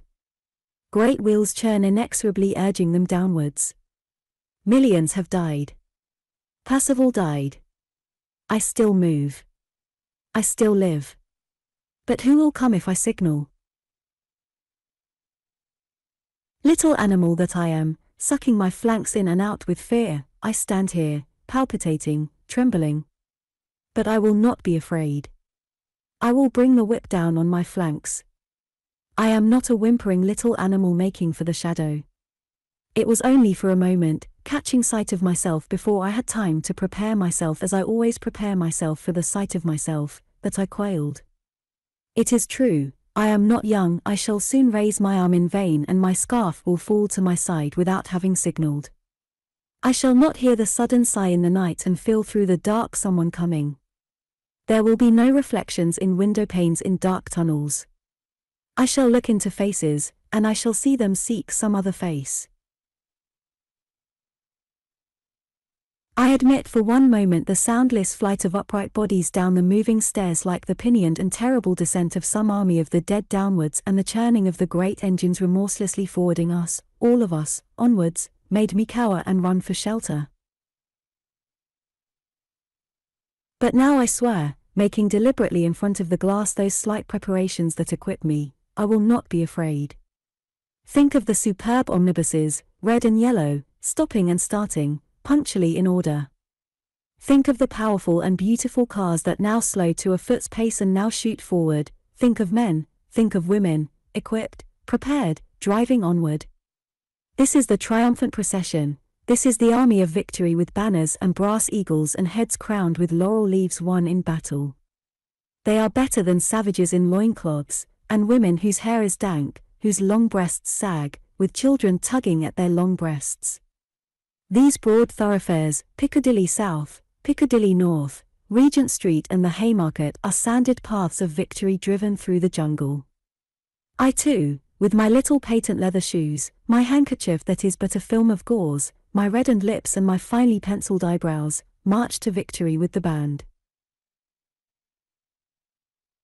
Look how they show off clothes here even underground in a perpetual radiance. They will not let the earth even lie wormy and sodden. There are gauzes and silks illumined in glass cases and underclothes trimmed with a million close stitches of fine embroidery. Crimson, green, violet, they are dyed all colors. Think how they organize, roll out, smooth, dip in dyes, and drive tunnels blasting the rock. Lifts rise and fall, trains stop, trams start as regularly as the waves of the sea. This is what has my adhesion. I am a native of this world, I follow its banners. How could I run for shelter when they are so magnificently adventurous, daring, curious, too, and strong enough in the midst of effort to pause and scrawl with a free-handed joke upon the wall. Therefore I will powder my face and redden my lips. I will make the angle of my eyebrows sharper than usual. I will rise to the surface, standing erect with the others in Piccadilly Circus. I will sign with a sharp gesture to a cab whose driver will signify by some indescribable alacrity his understanding of my signals. For I still excite eagerness. I still feel the bowing of men in the street like the silent stoop of the corn when the light wind blows, ruffling it red. I will drive to my own house. I will fill the vases with lavish, with luxurious, with extravagant flowers nodding in great bunches. I will place one chair there, another here. I will put ready cigarettes, glasses, and some gaily covered new unread book in case Bernard comes, or Neville or Louis. But perhaps it will not be Bernard, Neville or Louis, but somebody new, somebody unknown, somebody I passed on a staircase and, just turning as we passed, I murmured, Come. He will come this afternoon, somebody I do not know, somebody new. Let the silent army of the dead descend. I march forward. I no longer need a room now, said Neville, or walls and firelight. I am no longer young. I pass Jinny's house without envy, and smile at the young man who arranges his tie a little nervously on the doorstep. Let the dapper young man ring the bell, let him find her. I shall find her if I want her, if not, I pass on. The old corrosion has lost its bite envy, intrigue and bitterness have been washed out. We have lost our glory too. When we were young we sat anywhere, on bare benches in drafty halls with the doors always banging. We tumbled about half naked like boys on the deck of a ship squirting each other with hose pipes. Now I could swear that I like people pouring profusely out of the tube when the day's work is done, unanimous, indiscriminate, uncounted. I have picked my own fruit. I look dispassionately. After all, we are not responsible. We are not judges. We are not called upon to torture our fellows with thumbscrews and irons, we are not called upon to mount pulpits and lecture them on pale Sunday afternoons. It is better to look at a rose, or to read Shakespeare as I read him here in Shaftesbury Avenue. Here's the fool, here's the villain, here in a car comes Cleopatra, burning on her barge. Here are figures of the damned too, noseless men by the police court wall, standing with their feet in fire, howling. This is poetry if we do not write it. They act their parts infallibly, and almost before they open their lips I know what they are going to say, and wait the divine moment when they speak the word that must have been written. If it were only for the sake of the play, I could walk Shaftesbury Avenue forever. Then coming from the street, entering some room, there are people talking, or hardly troubling to talk. He says, she says, somebody else says things have been said so often that one word is now enough to lift a whole weight. Argument, laughter, old grievances, they fall through the air, thickening it. I take a book and read half a page of anything. They have not mended the spout of the teapot yet. The child dances, dressed in her mother's clothes. But then Rhoda, or it may be Louis, some fasting and anguished spirit, passes through and out again. They want a plot, do they? They want a reason? It is not enough for them, this ordinary scene. It is not enough to wait for the thing to be said as if it were written, to see the sentence lay its dab of clay precisely on the right place, making character, to perceive, suddenly, some group in outline against the sky. Yet if they want violence, I have seen death and murder and suicide all in one room. One comes in, one goes out. There are sobs on the staircase. I have heard threads broken and knots tied and the quiet stitching of white cambric going on and on on the knees of a woman. Why ask, like Louis, for a reason, or fly like Rhoda to some far grove and part the leaves of the laurels and look for statues. They say that one must beat one's wings against the storm in the belief that beyond this welter the sun shines, the sun falls sheer into pools that are fledged with willows. Here it is November, the poor hold out matchboxes in wind bitten fingers. They say truth is to be found there entire, and virtue, that shuffles along here, down blind alleys, is to be had there perfect. Rhoda flies with her neck outstretched and blind fanatic eyes, past us. Louis, now so opulent, goes to his attic window among the blistered roofs and gazes where she has vanished, but must sit down in his office among the typewriters and the telephone and work it all out for our instruction, for our regeneration, and the reform of an unborn world. But now in this room, which I enter without knocking, things are said as if they had been written. I go to the bookcase. If I choose, I read half a page of anything. I need not speak. But I listen. I am marvelously on the alert. Certainly, one cannot read this poem without effort. The page is often corrupt and mud stained, and torn and stuck together with faded leaves, with scraps of verbena or geranium. To read this poem, one must have myriad eyes, like one of those lamps that turn on slabs of racing water at midnight in the Atlantic, when perhaps only a spray of seaweed pricks the surface, or suddenly the waves gape and up shoulders a monster. One must put aside antipathies and jealousies and not interrupt. One must have patience and infinite care and let the light sound, whether of spiders' delicate feet on a leaf or the chuckle of water in some irrelevant drainpipe, unfold too. Nothing is to be rejected in fear or horror. The poet who has written this page, what I read with people talking, has withdrawn. There are no commas or semicolons. The lines do not run in convenient lengths. Much is sheer nonsense. One must be skeptical, but throw caution to the winds and when the door opens accept absolutely. Also sometimes weep, also cut away ruthlessly with a slice of the blade soot, bark, hard accretions of all sorts. And so, while they talk, let down one's net deeper and deeper and gently draw in and bring to the surface what he said and she said and make poetry. Now I have listened to them talking. They have gone now. I am alone. I could be content to watch the fire burn forever, like a dome, like a furnace, Now some spike of wood takes the look of a scaffold, or pit, or happy valley, now it is a serpent curled crimson with white scales. The fruit on the curtain swells beneath the parrot's beak. Cheep, cheep, creaks the fire, like the cheep of insects in the middle of a forest.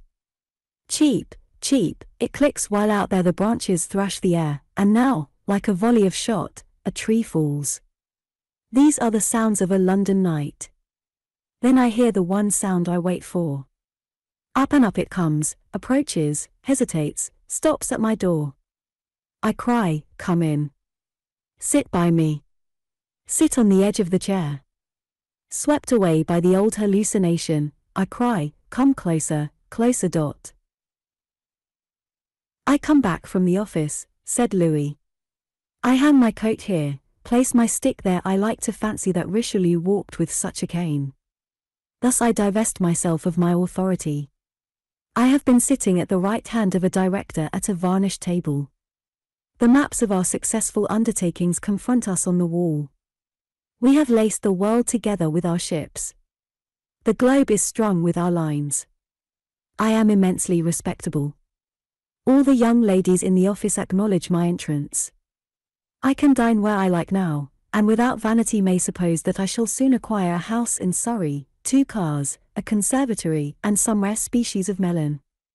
But I still return, I still come back to my attic, hang up my hat and resume in solitude that curious attempt which I have made since I brought down my fist on my master's grained oak door. I open a little book. I read one poem. One poem is enough. O western wind. O western wind, you are at enmity with my mahogany table and spats, and also, alas, with the vulgarity of my mistress, the little actress, who has never been able to speak English correctly. O western wind, when wilt thou blow? Rhoda, with her intense abstraction, with her unseeing eyes the color of snail's flesh, does not destroy you, western wind, whether she comes at midnight when the stars blaze or at the most prosaic hour of midday. She stands at the window and looks at the chimney pots and the broken windows in the houses of poor people. O western wind, when wilt thou blow? My task, my burden, has always been greater than other people's. A pyramid has been set on my shoulders. I have tried to do a colossal labor.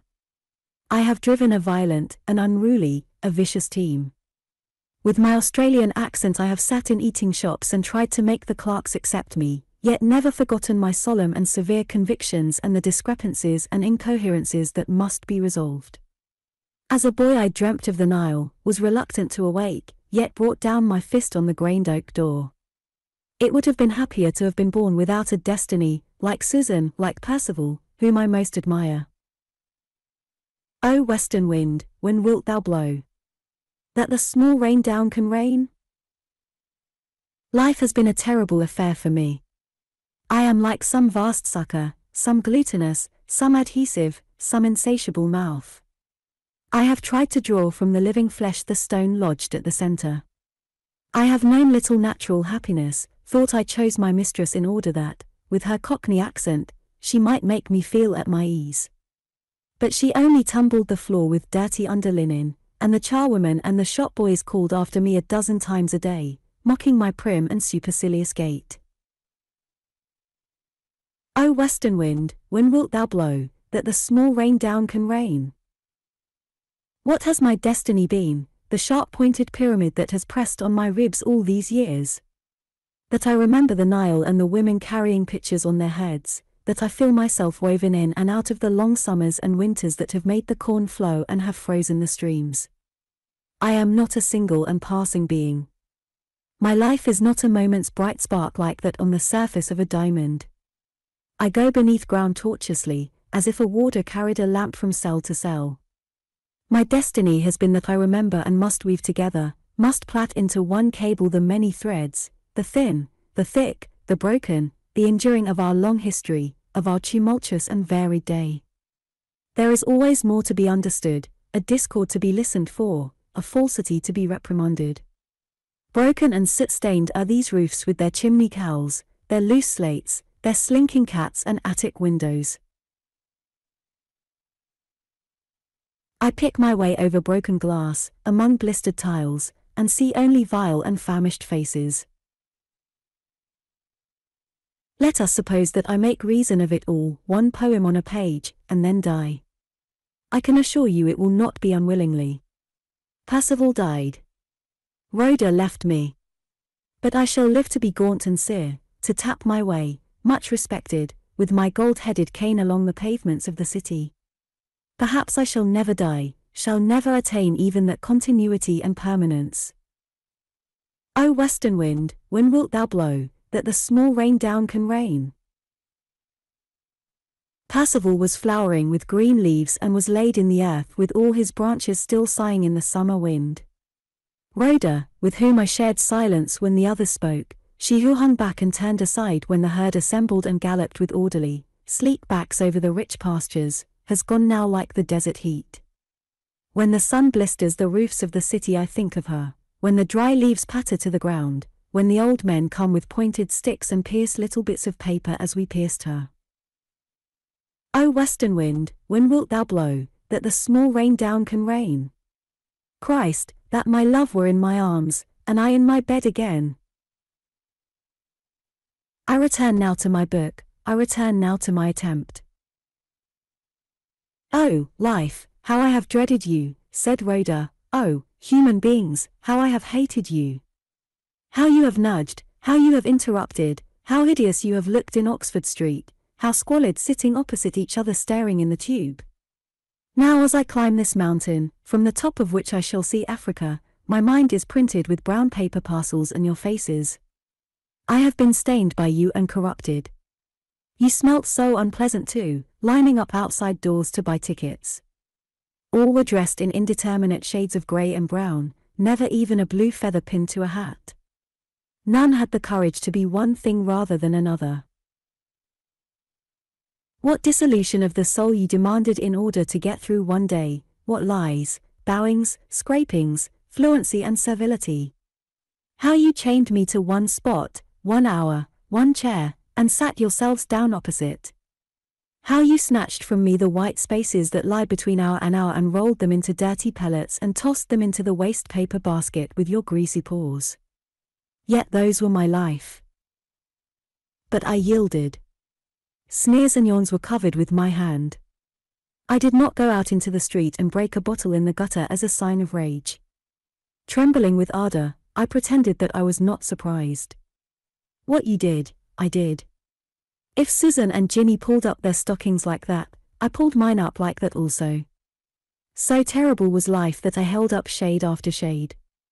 Look at life through this, look at life through that, let there be rose leaves, let there be vine leaves, I covered the whole street, Oxford Street, Piccadilly Circus, with the blaze and ripple of my mind, with vine leaves and rose leaves.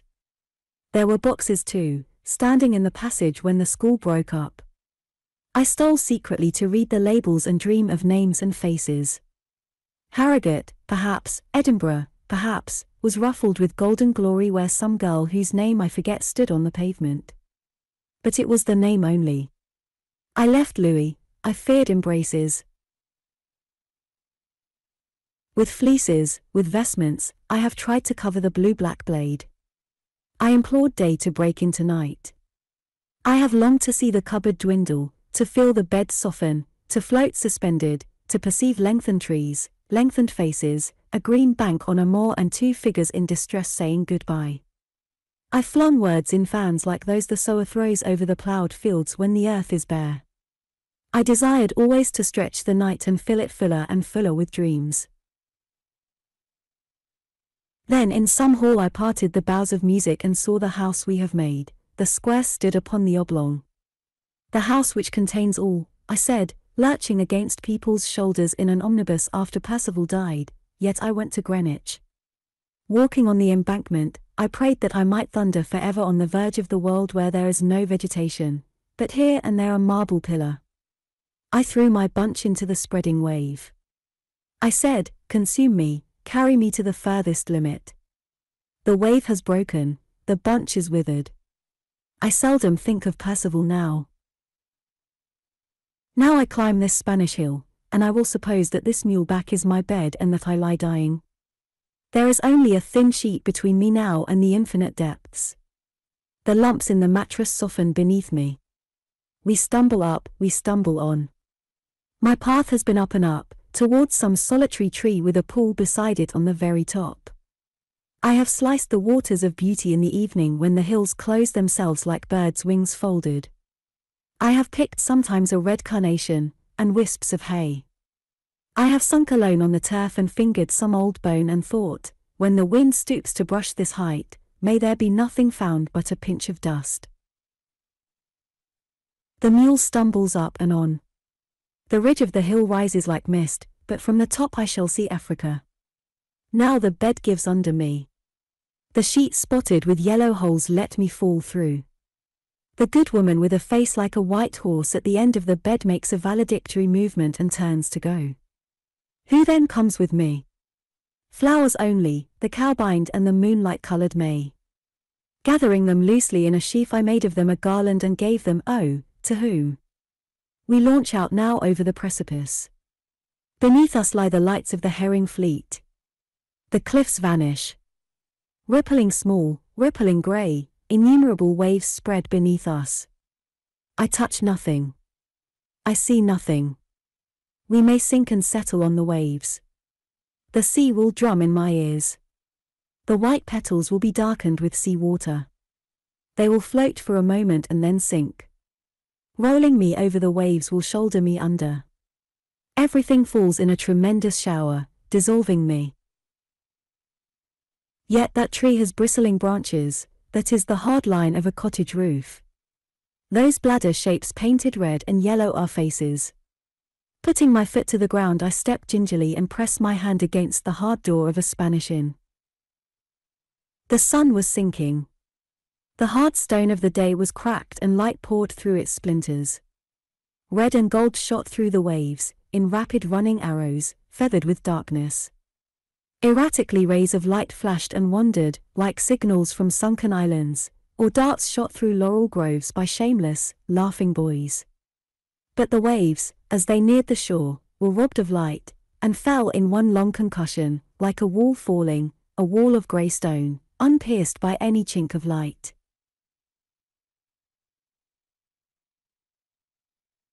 A breeze rose, a shiver ran through the leaves, and thus stirred they lost their brown density and became grey or white as the tree shifted its mass, winked and lost its domed uniformity. The hawk poised on the topmost branch flicked its eyelids and rose and sailed and soared far away. The wild plover cried in the marshes, evading, circling, and crying further off in loneliness. The smoke of trains and chimneys was stretched and torn and became part of the fleecy canopy that hung over the sea and the fields. Now the corn was cut. Now only a brisk stubble was left of all its flowing and waving. Slowly a great owl launched itself from the elm tree and swung and rose, as if on a line that dipped, to the height of the cedar. On the hills the slow shadows now broadened, now shrank, as they passed over. The pool on the top of the moor looked blank. No furry face looked there, or hoof splashed, or hot muzzle seethed in the water. A bird, perched on an ash-colored twig, sipped a beakful of cold water. There was no sound of cropping, and no sound of wheels, but only the sudden roar of the wind letting its sails fill and brushing the tops of the grasses. One bone lay rain-pocked and sun-bleached till it shone like a twig that the sea has polished.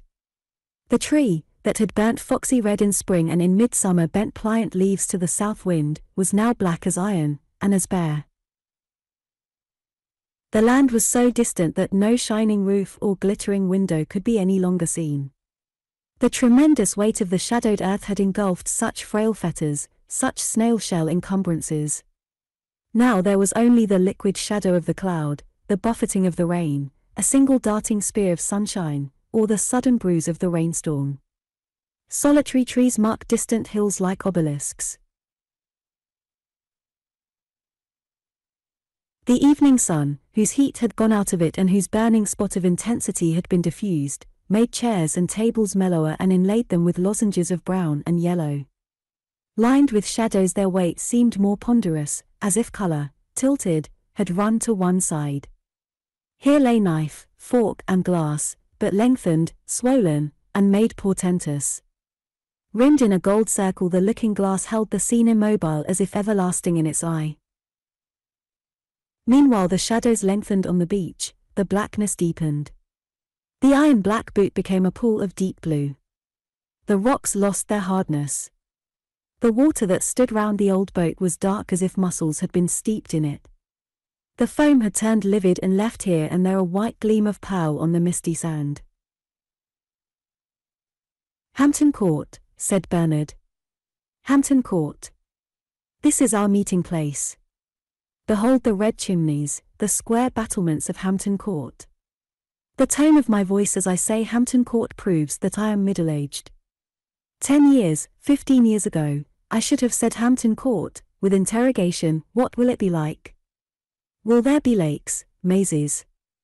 Or with anticipation, what is going to happen to me here? Whom shall I meet?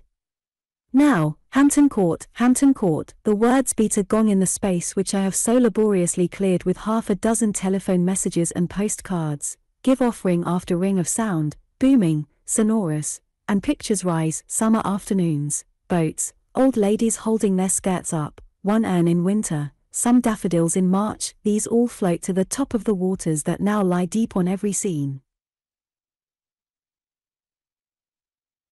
They are at the door by the inn, our meeting place, they are already standing, Susan, Louis, Rhoda, Jinny and Neville.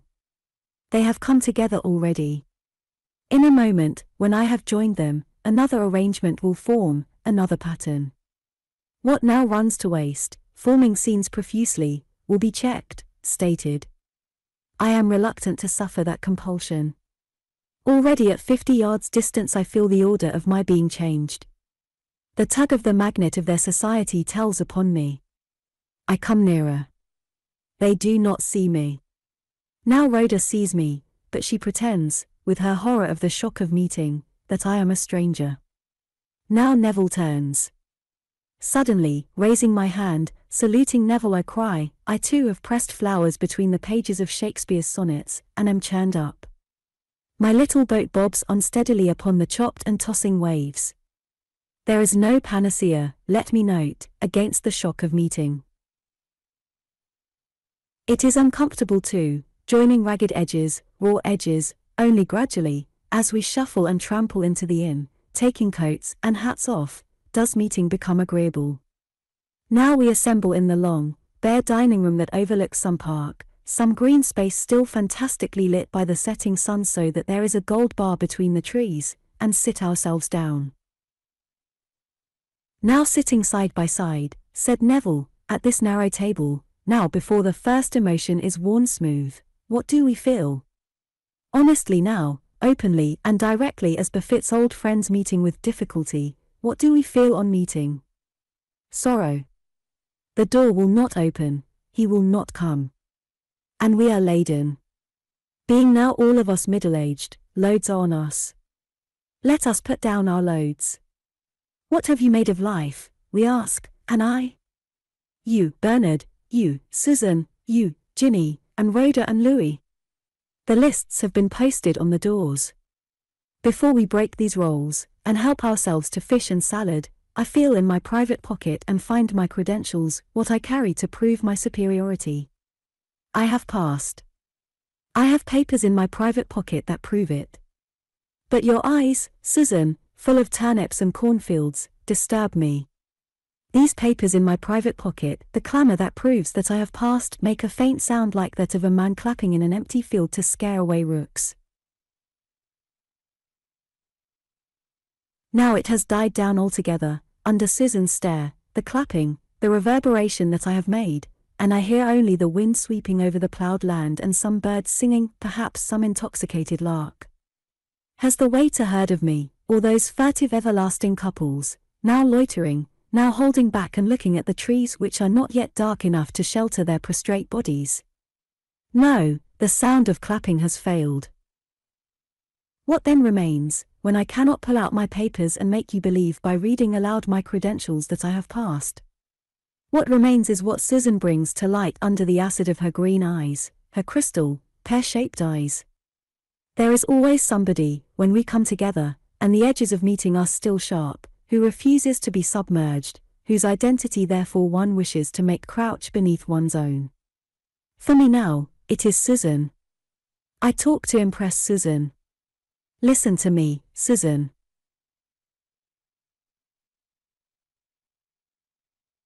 When someone comes in at breakfast, even the embroidered fruit on my curtain swells so that parrots can peck it, one can break it off between one's thumb and finger. The thin, skimmed milk of early morning turns opal, blue, rose. At that hour your husband, the man who slapped his gaiters, pointing with his whip at the barren cow, grumbles. You say nothing. You see nothing. Custom blinds your eyes. At that hour your relationship is mute, null, dun-colored. Mine at that hour is warm and various. There are no repetitions for me.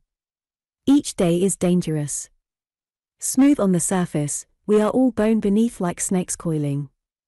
Suppose we read the Times, suppose we argue. It is an experience. Suppose it is winter. The snow falling loads down the roof and seals us together in a red cave. The pipes have burst. We stand a yellow tin bath in the middle of the room. We rush helter skelter for basins. Look there, it has burst again over the bookcase. We shout with laughter at the sight of ruin. Let solidity be destroyed. Let us have no possessions. Or is it summer? We may wander to a lake and watch Chinese geese waddling flat footed to the water's edge or see a bone like city church with young green trembling before it. I choose at random, I choose the obvious. Each sight is an arabesque scrawled suddenly to illustrate some hazard and marvel of intimacy. The snow, the burst pipe, the tin bath, the Chinese goose, these are signs swung high aloft upon which, looking back, I read the character of each love, how each was different. You meanwhile, for I want to diminish your hostility, your green eyes fixed on mine, and your shabby dress, your rough hands, and all the other emblems of your maternal splendor, have stuck like a limpet to the same rock. Yet it is true, I do not want to hurt you, only to refresh and furbish up my own belief in myself that failed at your entry. Change is no longer possible. We are committed. Before, when we met in a restaurant in London with Percival, all simmered and shook, we could have been anything. We have chosen now, or sometimes it seems the choice was made for us, a pair of tongs pinched us between the shoulders. I chose. I took the print of life not outwardly, but inwardly upon the raw, the white, the unprotected fiber. I am clouded and bruised with the print of minds and faces and things so subtle that they have smell, color, texture, substance, but no name. I am merely Neville to you, who see the narrow limits of my life and the line it cannot pass. But to myself I am immeasurable, a net whose fibers pass imperceptibly beneath the world. My net is almost indistinguishable from that which it surrounds. It lifts whales, huge leviathans, and white jellies, what is amorphous and wandering, I detect, I perceive. Beneath my eyes opens a book, I see to the bottom, the heart I see to the depths. I know what loves are trembling into fire, how jealousy shoots its green flashes hither and thither, how intricately love crosses love, love makes knots, love brutally tears them apart. I have been knotted, I have been torn apart.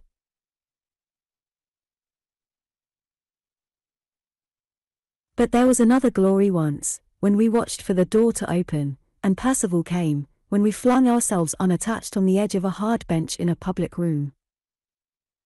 There was the beechwood, said Susan, Elvedon, and the gilt hands of the clock sparkling among the trees. The pigeons broke the leaves. The changing travelling lights wandered over me. They escaped me. Yet look, Neville, whom I discredit in order to be myself, at my hand on the table. Look at the gradations of healthy color here on the knuckles, here on the palm. My body has been used daily, rightly, like a tool by a good workman, all over. The blade is clean, sharp, worn in the center. We battle together like beasts fighting in a field, like stags making their horns clash. Seen through your pale and yielding flesh, even apples and bunches of fruit must have a filmed look as if they stood under glass. Lying deep in a chair with one person, one person only, but one person who changes, you see one inch of flesh only, its nerves, fibers, the sullen or quick flow of blood on it, but nothing entire. You do not see a house in a garden, a horse in a field, a town laid out, as you bend like an old woman straining her eyes over her darning. But I have seen life in blocks, substantial, huge, its battlements and towers, factories, and gasometers, a dwelling place made from time immemorial after an hereditary pattern. These things remain square, prominent, undissolved in my mind. I am not sinuous or suave, I sit among you abrading your softness with my hardness, quenching the silver grey flickering moth-wing quiver of words with the green spurt of my clear eyes. Now we have clashed our antlers. This is the necessary prelude, the salute of old friends.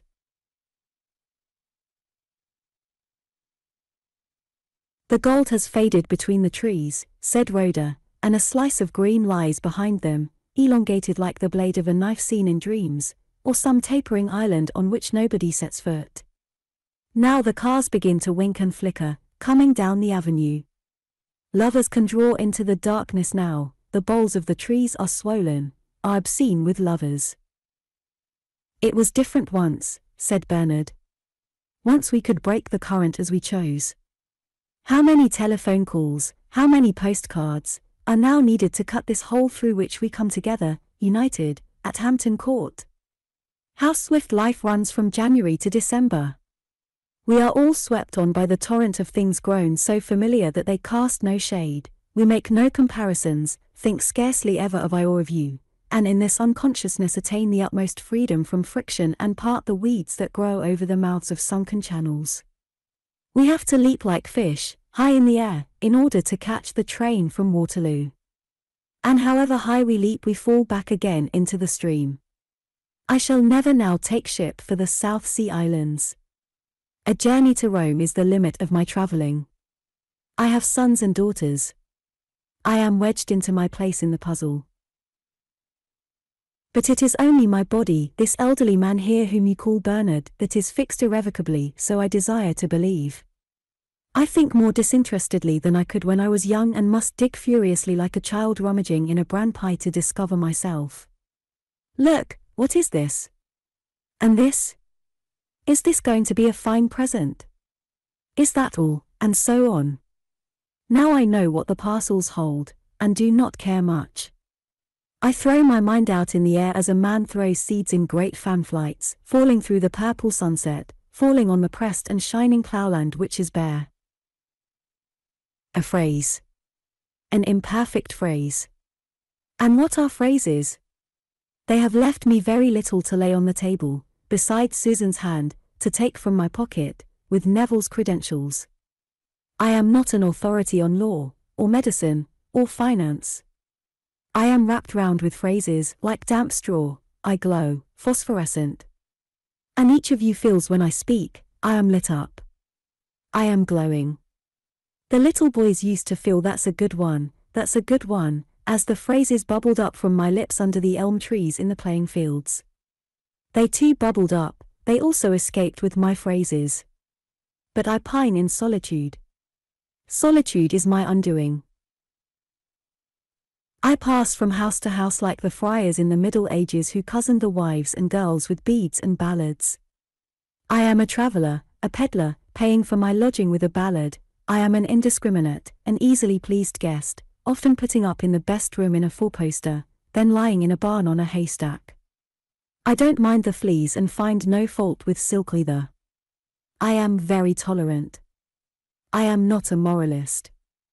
I have too great a sense of the shortness of life and its temptations to rule red lines. Yet I am not so indiscriminate as you think, judging me as you judge me from my fluency. I have a little dagger of contempt and severity hidden up my sleeve. But I am apt to be deflected. I make stories. I twist up toys out of anything. A girl sits at a cottage door, she is waiting, for whom? Seduced, or not seduced, the headmaster sees the hole in the carpet. He sighs.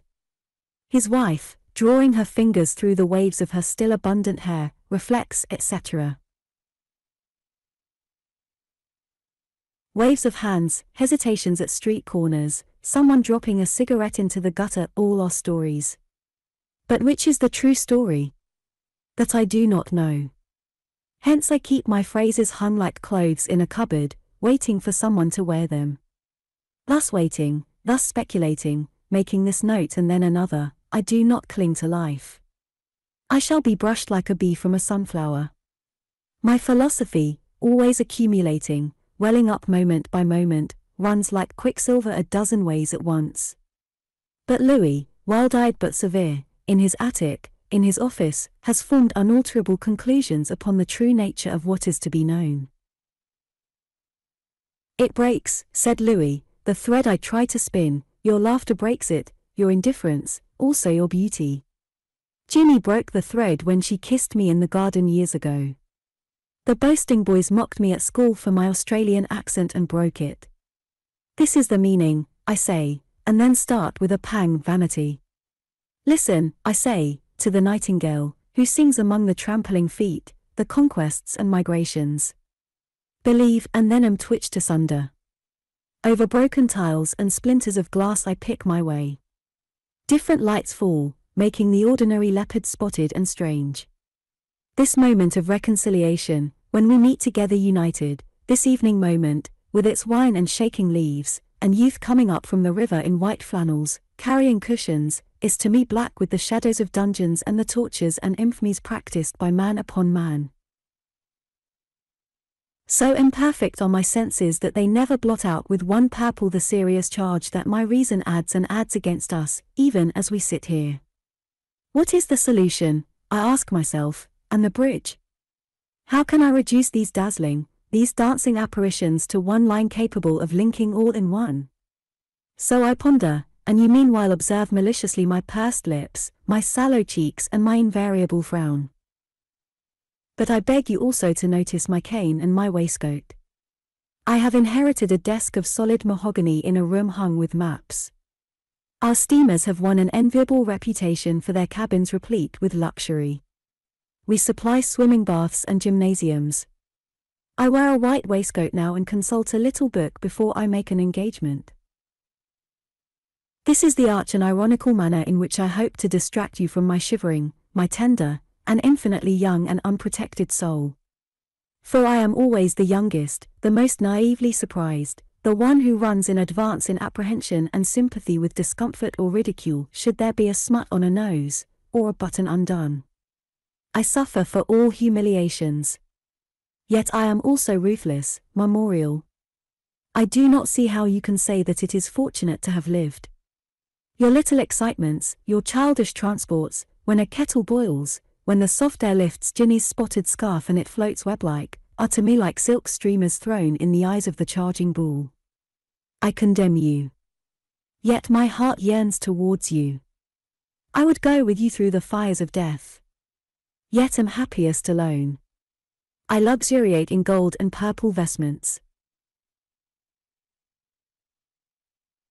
Yet I prefer a view over chimney pots, cats scraping their mangy sides upon blistered chimney stacks, broken windows, and the hoarse clangor of bells from the steeple of some brick chapel.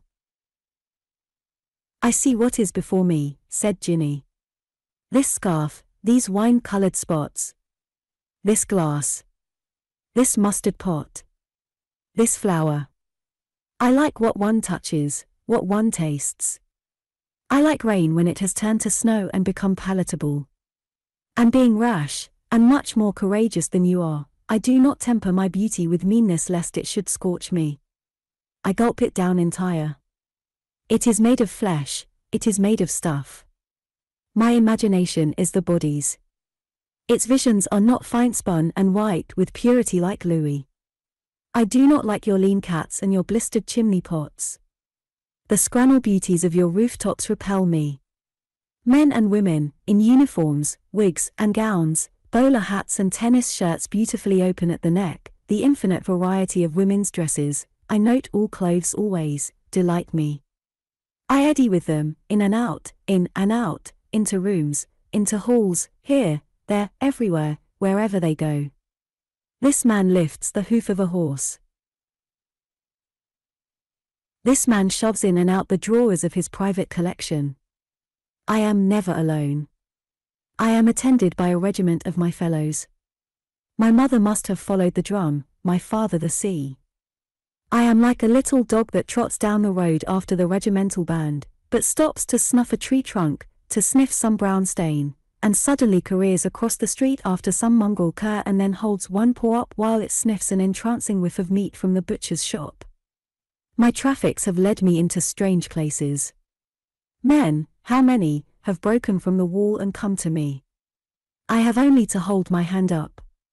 Straight as a dart they have come to the place of assignation, perhaps a chair on a balcony, perhaps a shop at a street corner.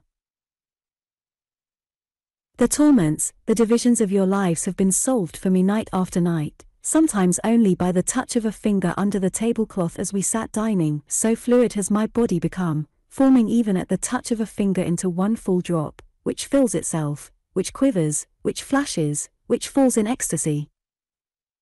I have sat before a looking glass as you sit writing, adding up figures at desks.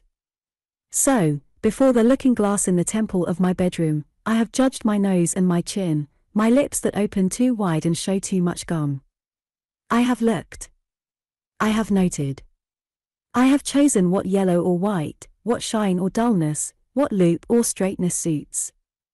I am volatile for one, rigid for another, angular as an icicle in silver, or voluptuous as a candle flame in gold. I have run violently like a whip flung out to the extreme end of my tether.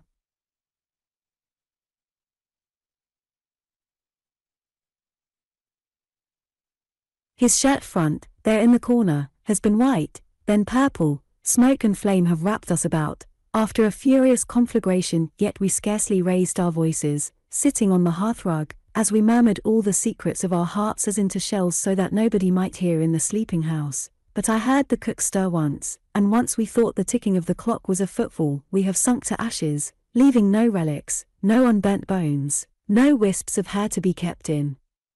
Lockets such as your intimacies leave behind them. Now I turn grey, now I turn gaunt, but I look at my face at midday sitting in front of the looking glass in broad daylight, and note precisely my nose, my chin, my lips that open too wide and show too much gum. But I am not afraid. There were lampposts, said Rhoda, and trees that had not yet shed their leaves on the way from the station. The leaves might have hidden me still. But I did not hide behind them. I walked straight up to you instead of circling round to avoid the shock of sensation as I used. But it is only that I have taught my body to do a certain trick. Inwardly I am not taught, I fear, I hate, I love, I envy and despise you, but I never join you happily. Coming up from the station, refusing to accept the shadow of the trees and the pillar boxes, I perceived, from your coats and umbrellas, even at a distance, how you stand embedded in a substance made of repeated moments run together, are committed, have an attitude, with children, authority, fame, love, society, where I have nothing, I have no face. Here in this dining room you see the antlers and the tumblers, the salt cellars, the yellow stains on the tablecloth. Waiter, says Bernard. Bread, says Susan. And the waiter comes, he brings bread. But I see the side of a cup like a mountain and only parts of antlers, and the brightness on the side of that jug like a crack in darkness with wonder and terror. Your voices sound like trees creaking in a forest. So with your faces and their prominences and hollows. How beautiful, standing at a distance immobile at midnight against the railings of some square. Behind you is a white crescent of foam, and fishermen on the verge of the world are drawing in nets and casting them. A wind ruffles the topmost leaves of prime val trees. Yet here we sit at Hampton Court. Parrots shrieking break the intense stillness of the jungle. Here the trams start. The swallow dips her wings in midnight pools. Here we talk. That is the circumference that I try to grasp as we sit together. Thus I must undergo the penance of Hampton Court at 7.30 precisely.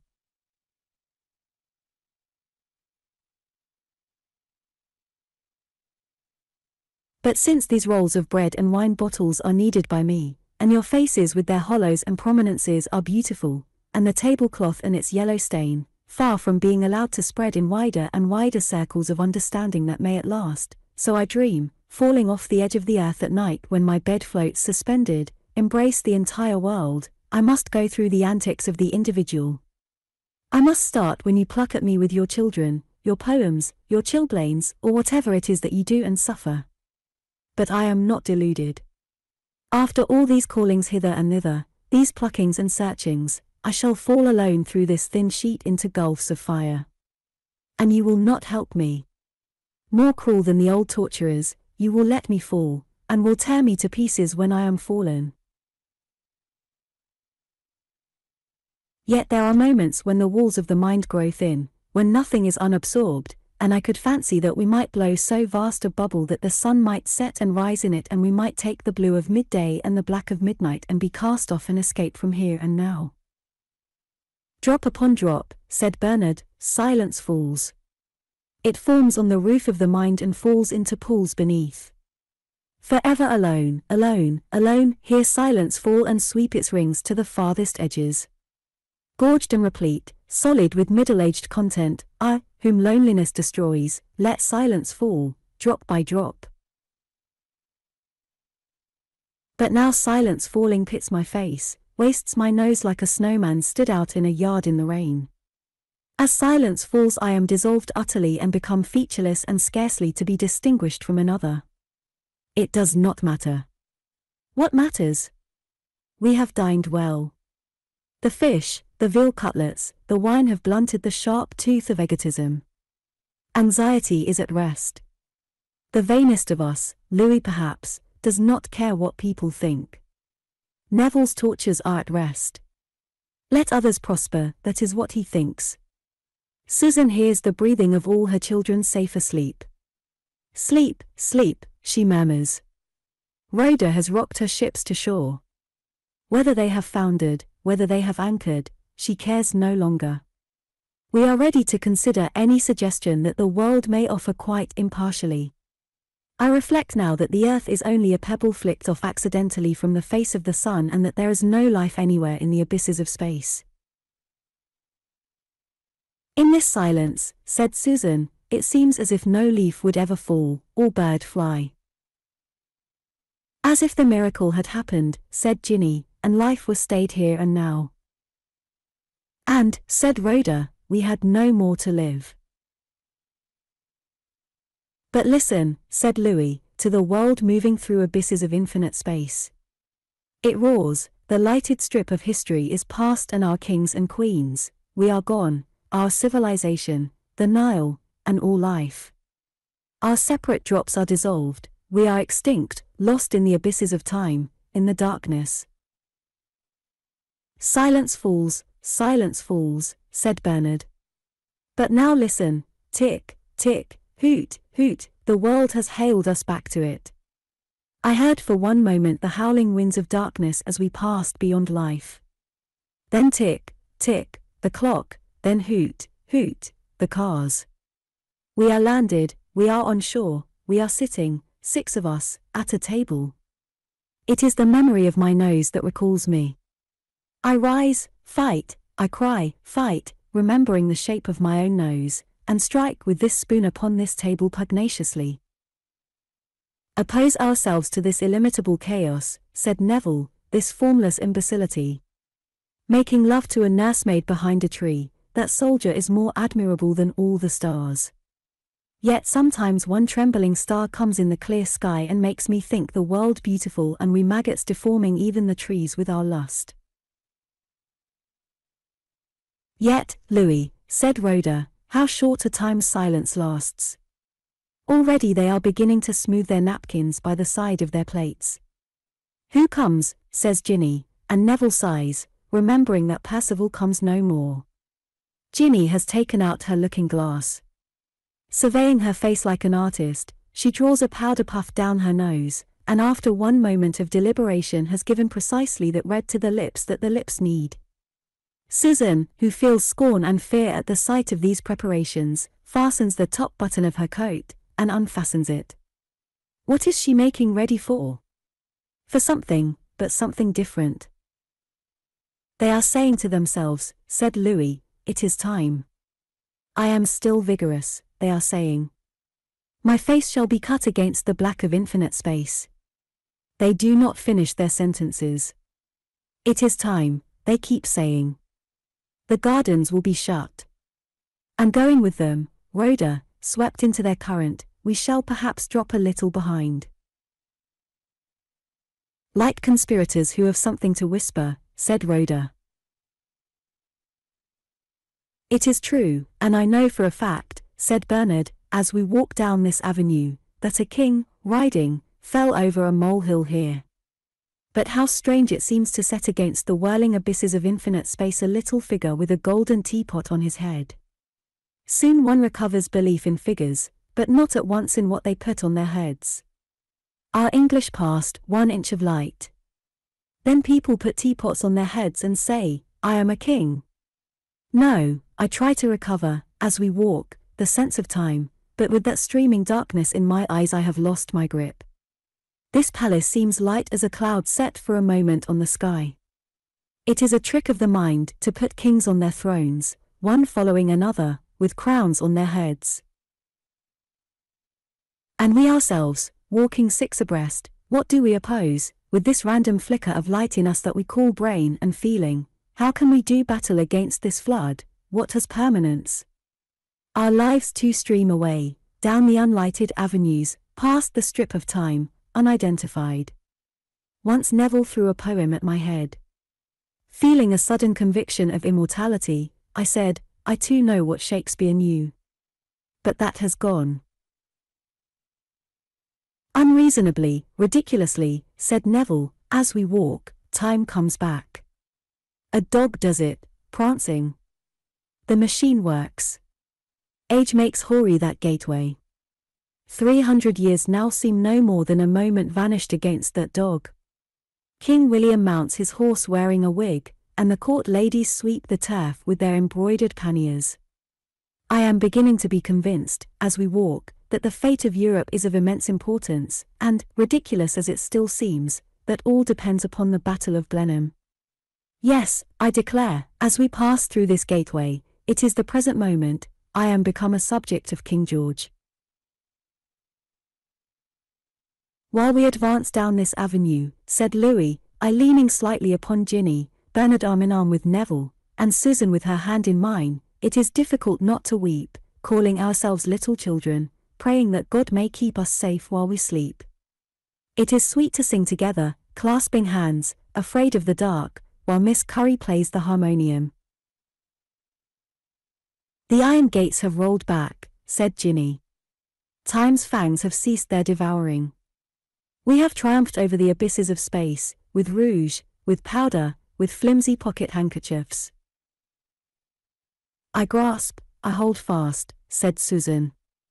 I hold firmly to this hand, anyone's, with love, with hatred, it does not matter which.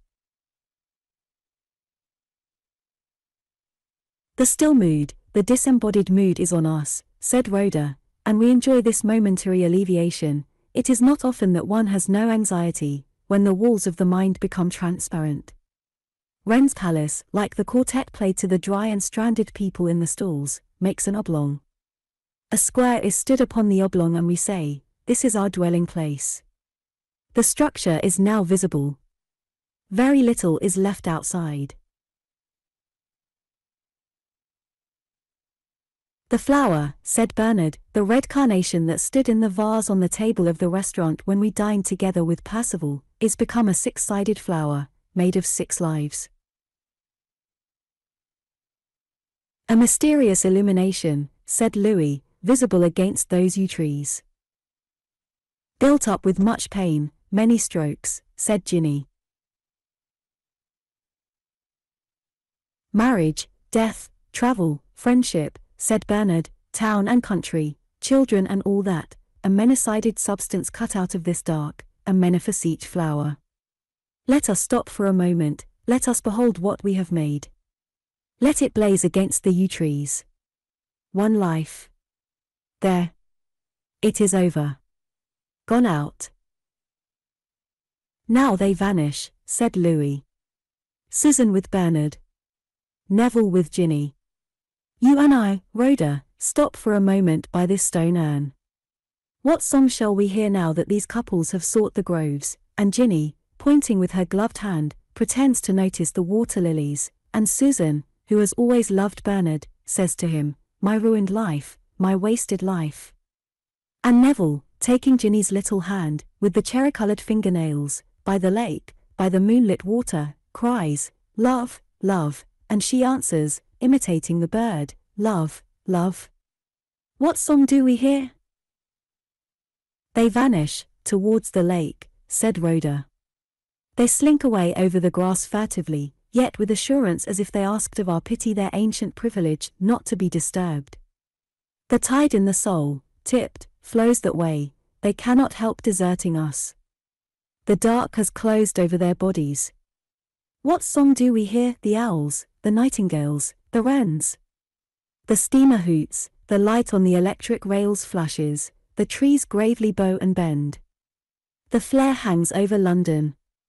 Here is an old woman, quietly returning, and a man, a late fisherman, comes down the terrace with his rod. Not a sound, not a movement must escape us. A bird flies homeward, said Louis. Evening opens her eyes and gives one quick glance among the bushes before she sleeps.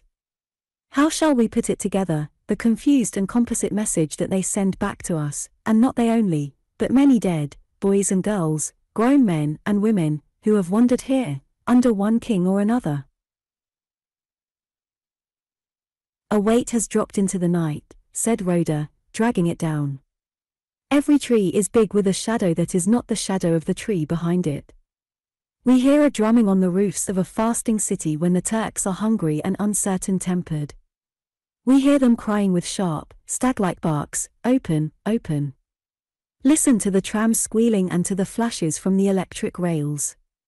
We hear the beech trees and the birch trees raise their branches as if the bride had let her silken nightdress fall and come to the doorway saying open, open. Dot. All seems alive, said Louis. I cannot hear death anywhere tonight. Stupidity, on that man's face, age, on that woman's, would be strong enough, one would think, to resist the incantation, and bring in death. But where is death tonight? All the crudity, odds and ends, this and that, have been crushed like glass splinters into the blue, the red fringed tide, which, drawing into the shore, fertile with innumerable fish, breaks at our feet. If we could mount together, if we could perceive from a sufficient height, said Rhoda, if we could remain untouched without any support, but you, disturbed by faint clapping sounds of praise and laughter, and I, resenting compromise and right and wrong on human lips, trust only in solitude and the violence of death and thus are divided. Forever, said Louis, divided. We have sacrificed the embrace among the ferns, and love, love, love by the lake, standing, like conspirators who have drawn apart to share some secret, by the urn. But now look, as we stand here, a ripple breaks on the horizon, the net is raised higher and higher. It comes to the top of the water. The water is broken by silver, by quivering little fish. Now leaping, now lashing, they are laid on shore. Life tumbles its catch upon the grass. There are figures coming towards us. Are they men or are they women? They still wear the ambiguous draperies of the flowing tide in which they have been immersed. Now, said Rhoda, as they pass that tree, they regain their natural size. They are only men, only women. Wonder and awe change as they put off the draperies of the flowing tide. Pity returns, as they emerge into the moonlight, like the relics of an army, our representatives, going every night, here or in Greece, to battle, and coming back every night with their wounds, their ravaged faces. Now light falls on them again. They have faces, they become Susan and Bernard, Jinny and Neville, people we know. Now what a shrinkage takes place. Now what a shriveling, what an humiliation. The old shivers run through me, hatred and terror, as I feel myself grappled to one spot by these hooks they cast on us, these greetings, recognitions, pluckings of the finger and searchings of the eyes.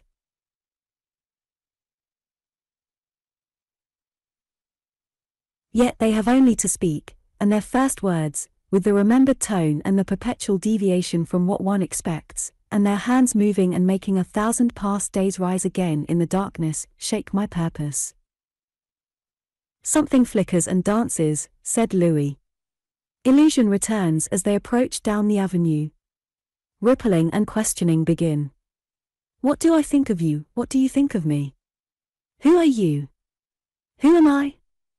That quivers again its uneasy air over us, and the pulse quickens and the eye brightens and all the insanity of personal existence without which life would fall flat and die, begins again.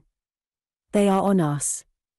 The southern sun flickers over this urn, we push off into the tide of the violent and cruel sea. Lord help us to act our parts as we greet them returning, Susan and Bernard, Neville and Jinny. We have destroyed something by our presence, said Bernard, a world perhaps. Yet we scarcely breathe, said Neville, spent as we are. We are in that passive and exhausted frame of mind when we only wish to rejoin the body of our mother from whom we have been severed. All else is distasteful, forced and fatiguing. Jinny's yellow scarf is moth-colored in this light, Susan's eyes are quenched. We are scarcely to be distinguished from the river. One cigarette end is the only point of emphasis among us. And sadness tinges our content, that we should have left you, torn the fabric, yielded to the desire to press out, alone, some bitterer, some blacker juice, which was sweet too. But now we are worn out.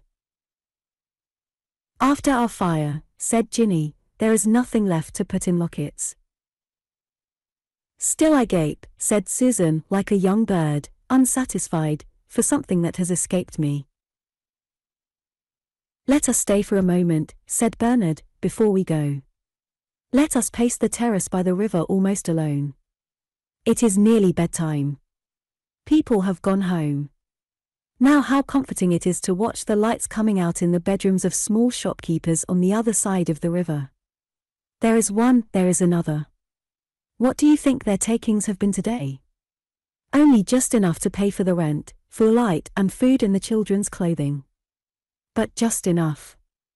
What a sense of the tolerableness of life the lights in the bedrooms of small shopkeepers give us. Saturday comes, and there is just enough to pay perhaps for seats at the pictures. Perhaps before they put out the light they go into the little garden and look at the giant rabbit couched in its wooden hut. That is the rabbit they will have for Sunday dinner. Then they put out the light. Then they sleep. And for thousands of people sleep is nothing but warmth and silence and one moment's sport with some fantastic dream. I have posted my letter, the greengrocer thinks, to the Sunday newspaper. Suppose I win £500 in the football competition. And we shall kill the rabbit. Life is pleasant. Life is good. I have posted the letter. We shall kill the rabbit. And he sleeps. That goes on. Listen. There is a sound like the knocking of railway trucks in a siding.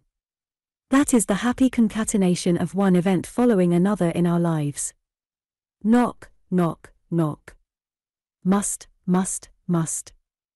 Must go, must sleep, must wake, must get up sober, merciful word which we pretend to revile, which we press tight to our hearts, without which we should be undone. How we worship that sound like the knocking together of trucks in a siding.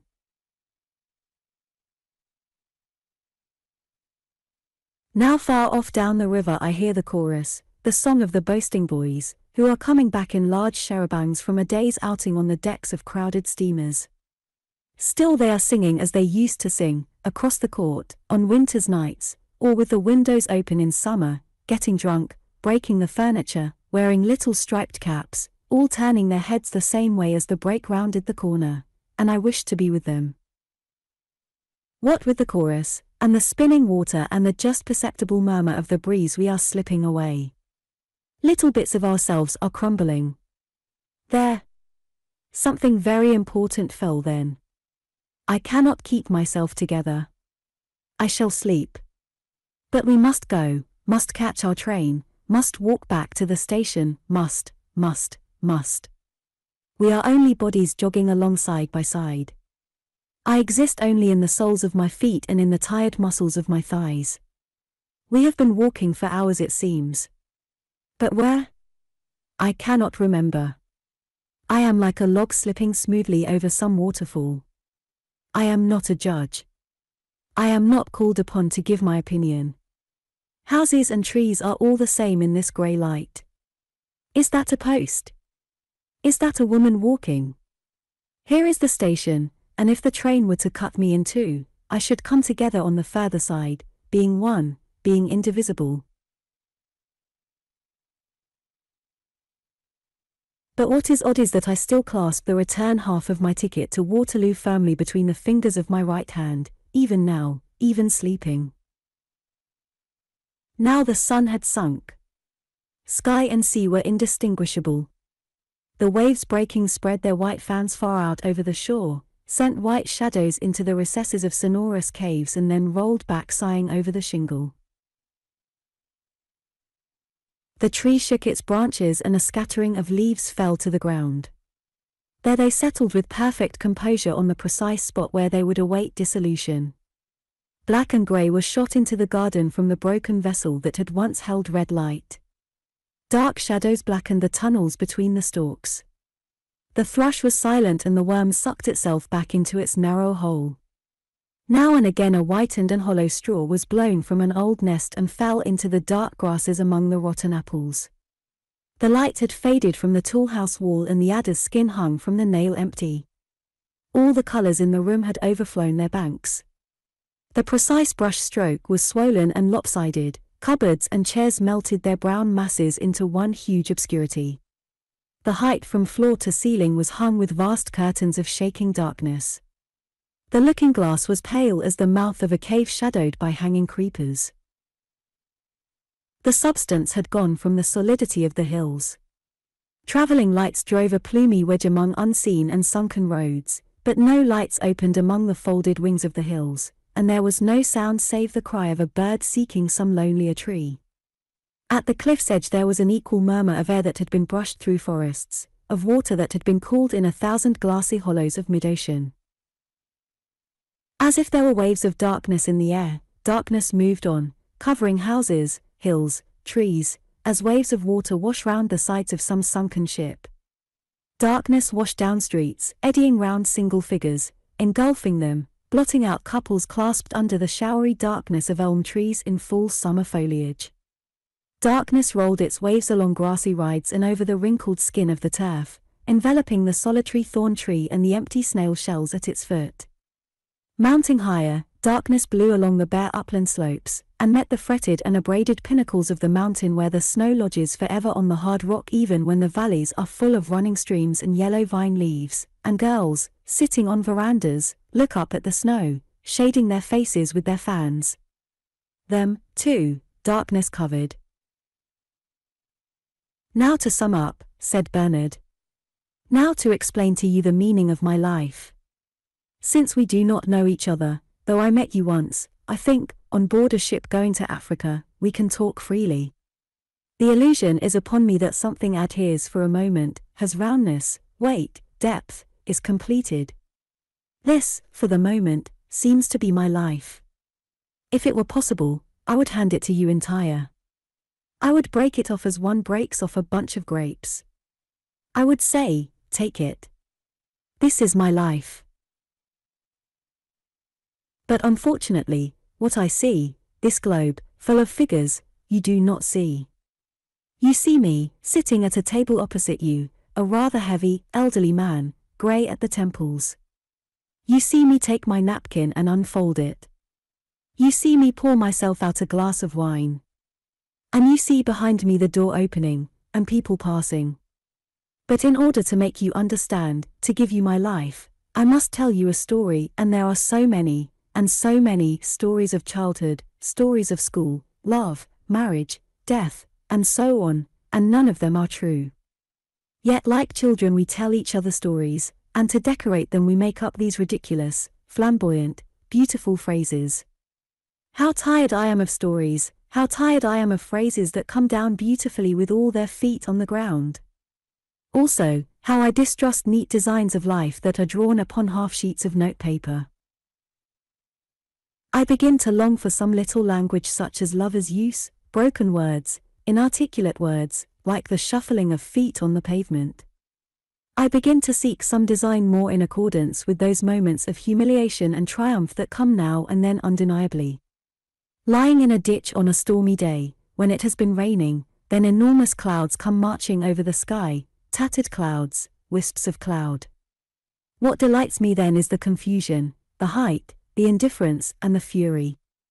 Great clouds always changing, and movement, something sulphurous and sinister, bowled up, helter skelter, towering, trailing, broken off, lost, and I forgotten, minute, in a ditch. Of story, of design, I do not see a trace then. But meanwhile, while we eat, let us turn over these scenes as children turn over the pages of a picture book and the nurse says, pointing, That's a cow. That's a boat. Let us turn over the pages, and I will add, for your amusement, a comment in the margin. In the beginning, there was the nursery, with windows opening onto a garden, and beyond that the sea. I saw something brighten, no doubt the brass handle of a cupboard. Then Mrs. Constable raised the sponge above her head, squeezed it, and out shot, right, left, all down the spine, arrows of sensation. And so, as long as we draw breath, for the rest of time, if we knock against a chair, a table, or a woman, we are pierced with arrows of sensation if we walk in a garden, if we drink this wine. Sometimes indeed, when I pass a cottage with a light in the window where a child has been born, I could implore them not to squeeze the sponge over that new body.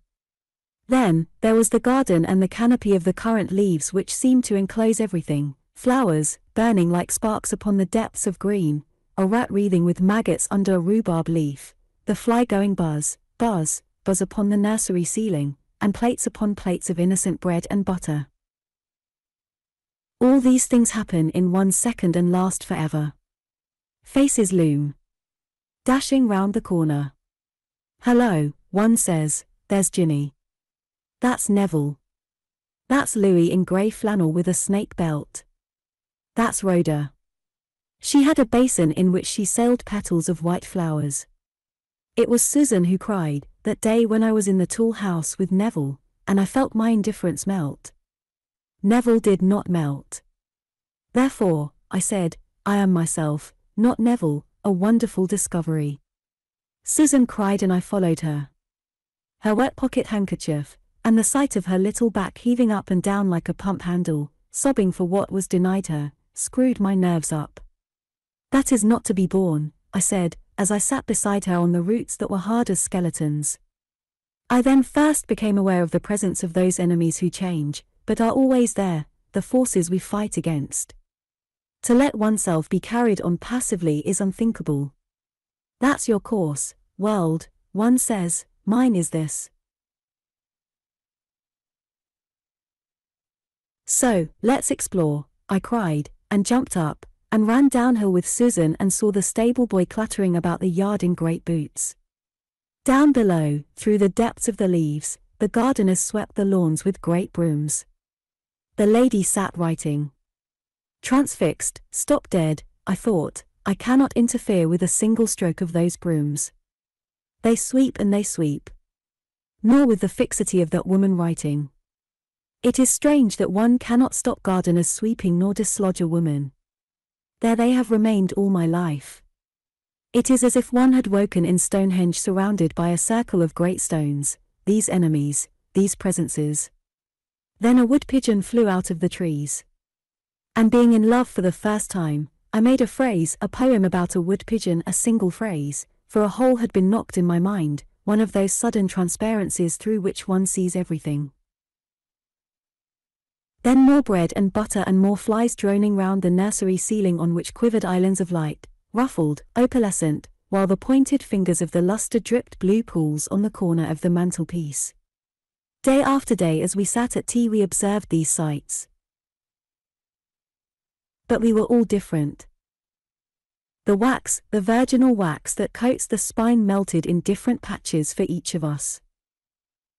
The growl of the bootboy making love to the tweenie among the gooseberry bushes, the clothes blown out hard on the line, the dead man in the gutter, the apple tree, stark in the moonlight, the rat swarming with maggots, the luster dripping blue our white wax was streaked and stained by each of these differently.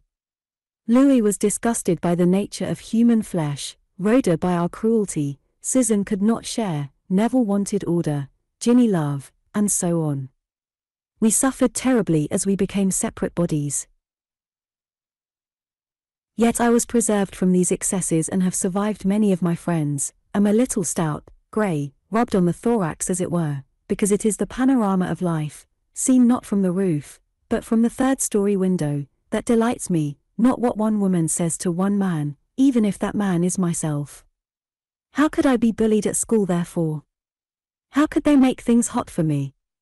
There was the doctor lurching into chapel, as if he trod a battleship in a gale of wind, shouting out his commands through a megaphone. Since people in authority always become melodramatic, I did not hate him like Neville, or revere him like Louis.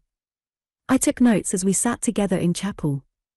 There were pillars, shadows, memorial brasses, boys scuffling and swapping stamps behind prayer books, the sound of a rusty pump, the doctor booming, about immortality and quitting ourselves like men, and Percival scratching his thigh. I made notes for stories, drew portraits in the margin of my pocketbook and thus became still more separate. Here are one or two of the figures I saw. Percival sat staring straight ahead of him that day in chapel. He also had a way of flicking his hand to the back of his neck. His movements were always remarkable. We all flicked our hands to the backs of our heads unsuccessfully. He had the kind of beauty which defends itself from any caress. As he was not in the least precocious, he read whatever was written up for our edification without any comment, and thought with that magnificent equanimity, Latin words come naturally, that was to preserve him from so many meannesses and humiliations, that Lucy's flaxen pigtails and pink cheeks were the height of female beauty. Thus preserved, his taste later was of extreme fineness. But there should be music, some wild carol. Through the window should come a hunting song from some rapid unapprehended life, a sound that shouts among the hills and dies away. What is startling, what is unexpected, what we cannot account for, what turns symmetry to nonsense, that comes suddenly to my mind, thinking of him. The little apparatus of observation is unhinged. Pillars go down, the doctor floats off, some sudden exaltation possesses me. He was thrown, riding in a race, and when I came along Shaftesbury Avenue tonight, those insignificant and scarcely formulated faces that bubble up out of the doors of the tube, and many obscure Indians, and people dying of famine and disease, and women who have been cheated, and whipped dogs and crying children, all these seem to me bereft. He would have done justice. He would have protected. About the age of 40 he would have shocked the authorities. No lullaby has ever occurred to me capable of singing him to rest. But let me dip again and bring up in my spoon another of these minute objects which we call optimistically, characters of our friends of Louis. He sat staring at the preacher. His being seemed conglobulated in his brow, his lips were pressed, his eyes were fixed, but suddenly they flashed with laughter. Also he suffered from chilblains, the penalty of an imperfect circulation. Unhappy, unfriended, in exile he would sometimes, in moments of confidence, describe how the surf swept over the beaches of his home. The remorseless eye of youth fixed itself upon his swollen joints. Yes, but we were also quick to perceive how cutting, how apt, how severe he was, how naturally, when we lay under the elm trees pretending to watch cricket, we waited his approval, seldom given. His ascendancy was resented, as Percival's was adored. Prim, suspicious, lifting his feet like a crane, there was yet a legend that he had smashed a door with his naked fist. But his peak was too bare, too stony for that kind of mist to cling to it. He was without those simple attachments by which one is connected with another. He remained aloof, enigmatic, a scholar capable of that inspired accuracy which has something formidable about it. My phrases, how to describe the moon, did not meet with his approval. On the other hand, he envied me to the point of desperation for being at my ease with servants. Not that the sense of his own deserts failed him. That was commensurate with his respect for discipline. Hence his success, finally. His life, though, was not happy. But look, his eye turns white as he lies in the palm of my hand. Suddenly the sense of what people are leaves one. I return him to the pool where he will acquire luster. Neville next lying on his back staring up at the summer sky. He floated among us like a piece of thistledown, indolently haunting the sunny corner of the playing field, not listening, yet not remote. It was through him that I have nosed round without ever precisely touching the Latin classics and have also derived some of those persistent habits of thought which make us irredeemably lopsided, for instance about crucifixes, that they are the mark of the devil. Our half-loves and half-hates and ambiguities on these points were to him indefensible treacheries. The swaying and sonorous doctor, whom I made to sit swinging his braces over a gas fire, was to him nothing but an instrument of the Inquisition.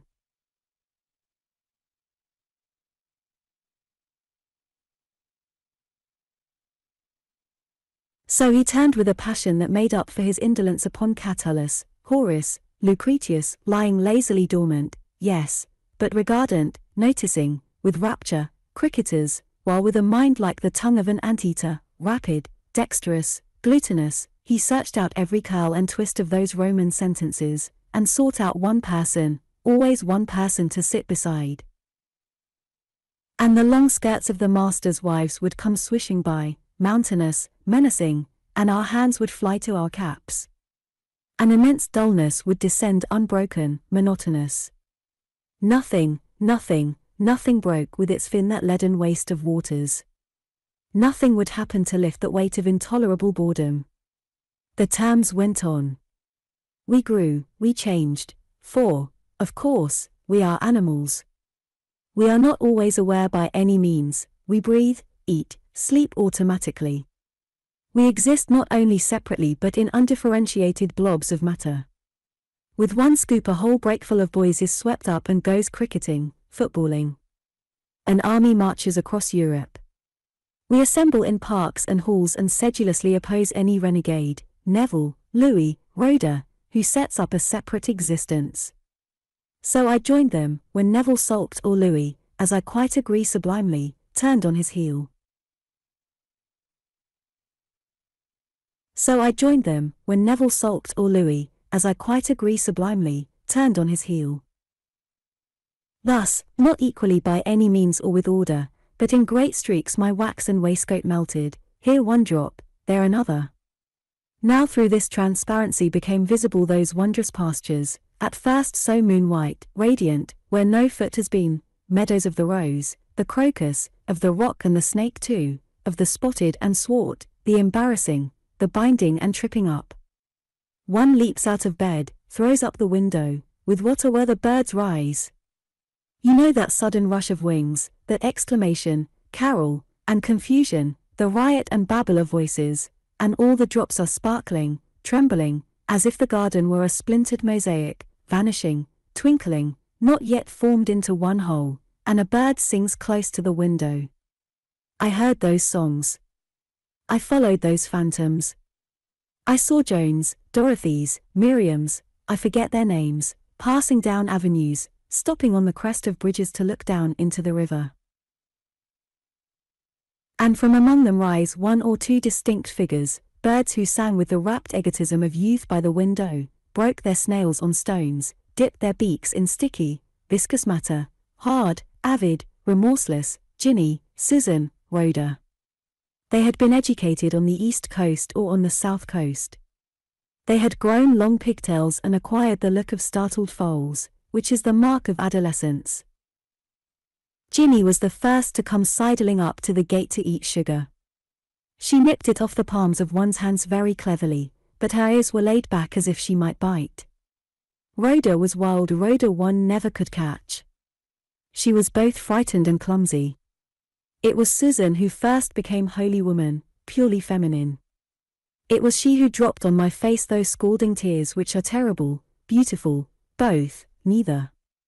She was born to be the adored of poets, since poets require safety, someone who sits sewing, who says, I hate, I love, who is neither comfortable nor prosperous, but has some quality in accordance with the high but unemphatic beauty of pure style which those who create poetry so particularly admire. Her father trailed from room to room and down flagged corridors in his flapping dressing gown and worn slippers. On still nights, a wall of water fell with a roar a mile off. The ancient dog could scarcely heave himself up onto his chair. And some witless servant could be heard laughing at the top of the house as she whirred the wheel of the sewing machine round and round. That I observed even in the midst of my anguish when, twisting her pocket handkerchief, Susan cried, I love, I hate. A worthless servant, I observed, laughs upstairs in the attic, and that little piece of dramatization shows how incompletely we are merged in our own experiences. On the outskirts of every agony sits some observant fellow who points, who whispers as he whispered to me that summer morning in the house where the corn comes up to the window, the willow grows on the turf by the river. The gardeners sweep with great brooms and the lady sits writing. Thus he directed me to that which is beyond and outside our own predicament, to that which is symbolic, and thus perhaps permanent, if there is any permanence in our sleeping, eating, breathing, so animal, so spiritual and tumultuous lives. The willow tree grew by the river. I sat on the smooth turf with Neville, with Larpent, with Baker, Romsey, Hughes, Percival, and Jinny. Through its fine plumes specked with little pricked of green in spring, of orange in autumn, I saw boats, buildings, I saw hurrying, decrepit women. I buried match after match in the turf decidedly to mark this or that stage in the process of understanding. It might be philosophy, science, it might be myself, while the fringe of my intelligence floating unattached caught those distant sensations which after a time the mind draws in and works upon the chime of bells, general murmurs, vanishing figures, one girl on a bicycle who, as she rode, seemed to lift the corner of a curtain concealing the populous undifferentiated chaos of life which surged behind the outlines of my friends and the willow tree. The tree alone resisted our eternal flux. For I changed and changed, was Hamlet, was Shelley, was the hero, whose name I now forget, of a novel by Dostoevsky, was for a whole term, incredibly, Napoleon, but was Byron chiefly.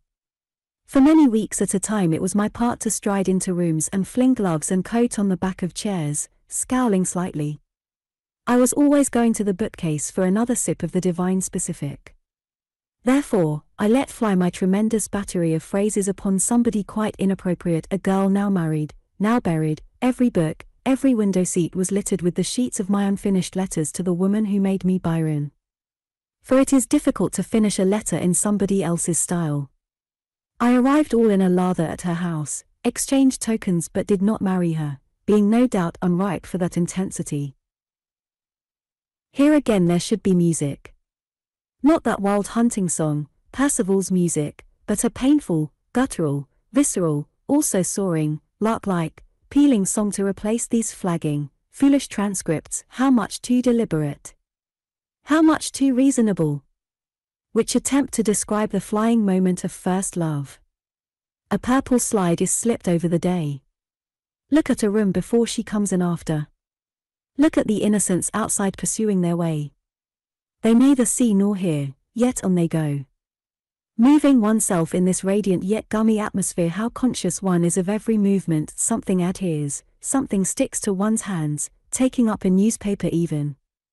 Then there is the being eviscerated, drawn out, spun like a spider's web and twisted in agony round a thorn.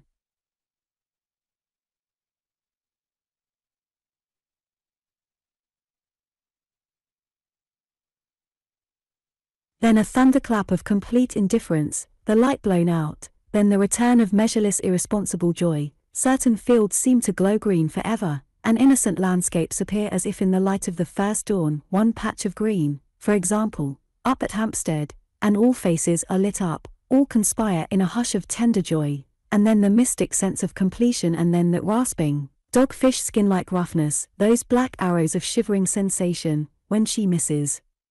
The post, when she does not come. Out rush a bristle of horned suspicions, horror, horror, horror, but what is the use of painfully elaborating these consecutive sentences when what one needs is nothing consecutive but a bark, a groan? And years later to see a middle-aged woman in a restaurant taking off her cloak. But to return. Let us again pretend that life is a solid substance, shaped like a globe, which we turn about in our fingers. Let us pretend that we can make out a plain and logical story, so that when one matter is dispatched, love for instance, we go on, in an orderly manner, to the next. I was saying there was a willow tree. Its shower of falling branches, its creased and crooked bark had the effect of what remains outside our illusions yet cannot stay them, is changed by them for the moment, yet shows through stable, still, and with a sternness that our lives lack. Hence the comment it makes, the standard it supplies, and the reason why, as we flow and change, it seems to measure. Neville, for example, sat with me on the turf.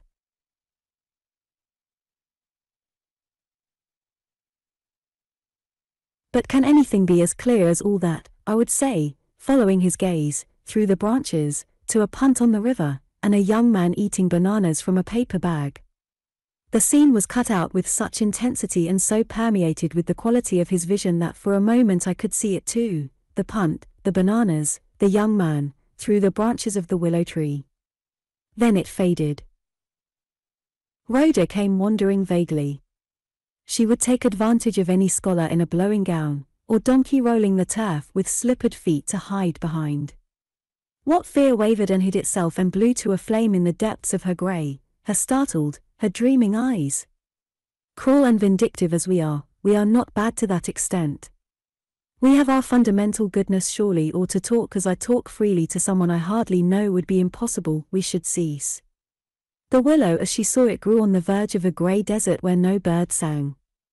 The leaves shriveled as she looked at them, tossed in agony as she passed them. The trams and omnibuses roared hoarse in the street ran over rocks and sped foaming away. Perhaps one pillar, sunlit, stood in her desert by a pool where wild beasts come down stealthily to drink. Then Jinny came. She flashed her fire over the tree. She was like a crinkled poppy, febrile, thirsty with the desire to drink dry dust. Darting, angular, not in the least impulsive, she came prepared. So little flames zigzag over the cracks in the dry earth. She made the willows dance, but not with illusion, for she saw nothing that was not there. It was a tree, there was the river, it was afternoon, here we were, I in my serge suit, she in green. There was no past, no future, merely the moment in its ring of light, and our bodies, and the inevitable climax, the ecstasy. Louis, when he let himself down on the grass, cautiously spreading, I do not exaggerate, a Mackintosh square, made one acknowledge his presence. It was formidable. I had the intelligence to salute his integrity, his research with bony fingers wrapped in rags because of chilblains for some diamond of indissoluble veracity. I buried boxes of burnt matches in holes in the turf at his feet. His grim and caustic tongue reproved my indolence. He fascinated me with his sordid imagination. His heroes wore bowler hats and talked about selling pianos for tenors.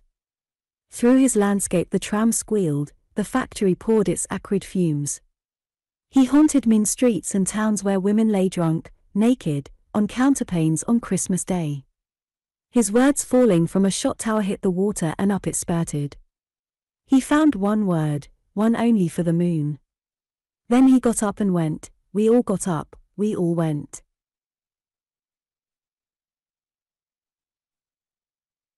But I, pausing, looked at the tree, and as I looked in autumn at the fiery and yellow branches, some sediment formed, I formed, a drop fell, I fell, that is, from some completed experience I had emerged.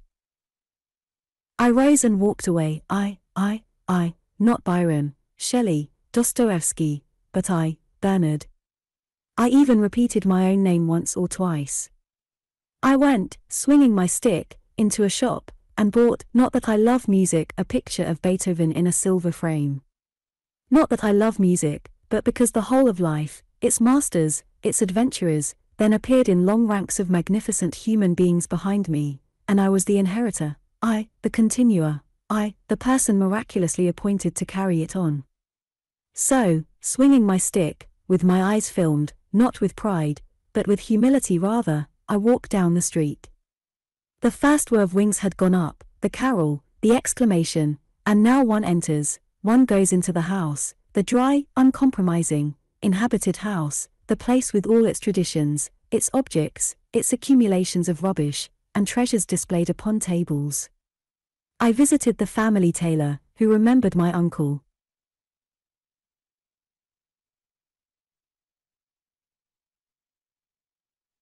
People turned up in great quantities, not cut out, like the first faces, Neville, Louis, Jinny, Susan, Rhoda, but confused, featureless, or changed their features so fast that they seemed to have none. And blushing yet scornful, in the oddest condition of raw rapture and skepticism, I took the blow, the mixed sensations, the complex and disturbing and utterly unprepared for impacts of life all over, in all places, at the same time. How upsetting! How humiliating never to be sure what to say next, and those painful silences, glaring as dry deserts, with every pebble apparent, and then to say what one ought not to have said, and then to be conscious of a ramrod of incorruptible sincerity which one would willingly exchange for a shower of smooth pence, but could not, there at that party, where Jinny sat quite at her ease, rayed out on a gilt chair. Then says some lady with an impressive gesture, Come with me. She leads one into a private alcove and admits one to the honor of her intimacy. Surnames change to Christian names, Christian names to nicknames. What is to be done about India, Ireland, or Morocco? Old gentlemen answer the question standing decorated under chandeliers. One finds oneself surprisingly supplied with information. Outside the undifferentiated forces roar, inside we are very private, very explicit, have a sense indeed, that it is here, in this little room, that we make whatever day of the week it may be.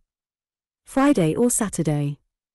A shell forms upon the soft sole, nacreous, shiny, upon which sensations tap their beaks in vain. On me it formed earlier than on most. Soon I could carve my pear when other people had done dessert. I could bring my sentence to a close in a hush of complete silence. It is at that season too that perfection has a law. One can learn Spanish, one thinks, by tying a string to the right toe and waking early. One fills up the little compartments of one's engagement book with dinner at 8, luncheon at 1.30. One has shirts, socks, ties laid out on one's bed. But it is a mistake, this extreme precision, this orderly and military progress, a convenience, a lie. There is always deep below it, even when we arrive punctually at the appointed time with our white waistcoats and polite formalities, a rushing stream of broken dreams, nursery rhymes, street cries, half-finished sentences, and sights, elm trees, willow trees, gardeners sweeping, women writing, that rise and sink even as we hand a lady down to dinner.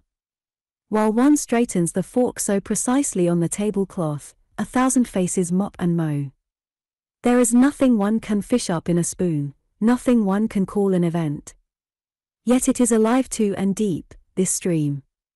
Immersed in it, I would stop between one mouthful and the next, and look intently at a vase, perhaps with one red flower, while a reason struck me, a sudden revelation. Or I would say, walking along the strand, that's the phrase I want, as some beautiful, fabulous phantom bird, fish, or cloud with fiery edges swam up to enclose once and for all some notion haunting me, after which on I trotted taking stock with renewed delight of ties and things in shop windows. The crystal, the globe of life as one calls it, far from being hard and cold to the touch, has walls of thinnest air. If I press them all will burst. Whatever sentence I extract whole and entire from this cauldron is only a string of six little fish that let themselves be caught while a million others leap and sizzle, making the cauldron bubble like boiling silver, and slip through my fingers.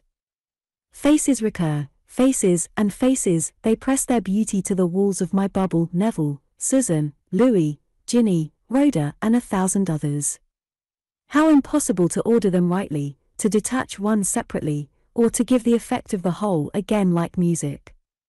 What a symphony with its concord and its discord, and its tunes on top and its complicated bass beneath, then grew up.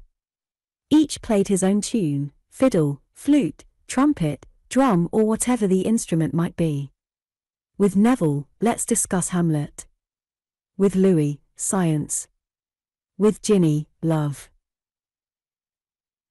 Then suddenly, in a moment of exasperation, off to Cumberland with a quiet man for a whole week in an inn, with the rain running down the window panes and nothing but mutton and mutton and again mutton for dinner.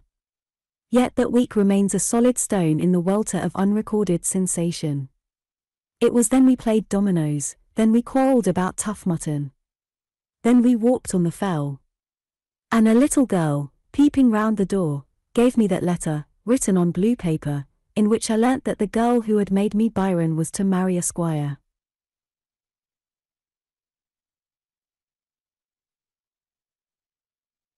A man in gaiters, a man with a whip, a man who made speeches about fat oxen at dinner, I exclaimed derisively and looked at the racing clouds, and felt my own failure, my desire to be free, to escape, to be bound, to make an end, to continue, to be Louis, to be myself, and walked out in my mackintosh alone, and felt grumpy under the eternal hills and not in the least sublime, and came home and blamed the meat and packed and so back again to the welter, to the torture. Nevertheless, life is pleasant, life is tolerable. Tuesday follows Monday, then comes Wednesday. The mind grows rings, the identity becomes robust, pain is absorbed in growth. Opening and shutting, shutting and opening, with increasing hum and sturdiness, the haste and fever of youth are drawn into service until the whole being seems to expand in and out like the mainspring of a clock. How fast the stream flows from January to December! We are swept on by the torrent of things grown so familiar that they cast no shadow. We float, we float.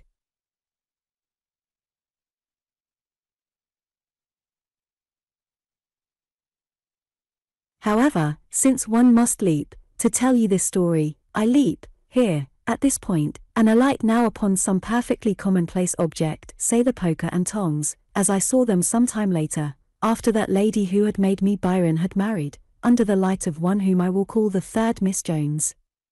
She is the girl who wears a certain dress expecting one at dinner, who picks a certain rose, who makes one feel steady, steady, this is a matter of some importance, as one shaves. Then one asks, how does she behave to children?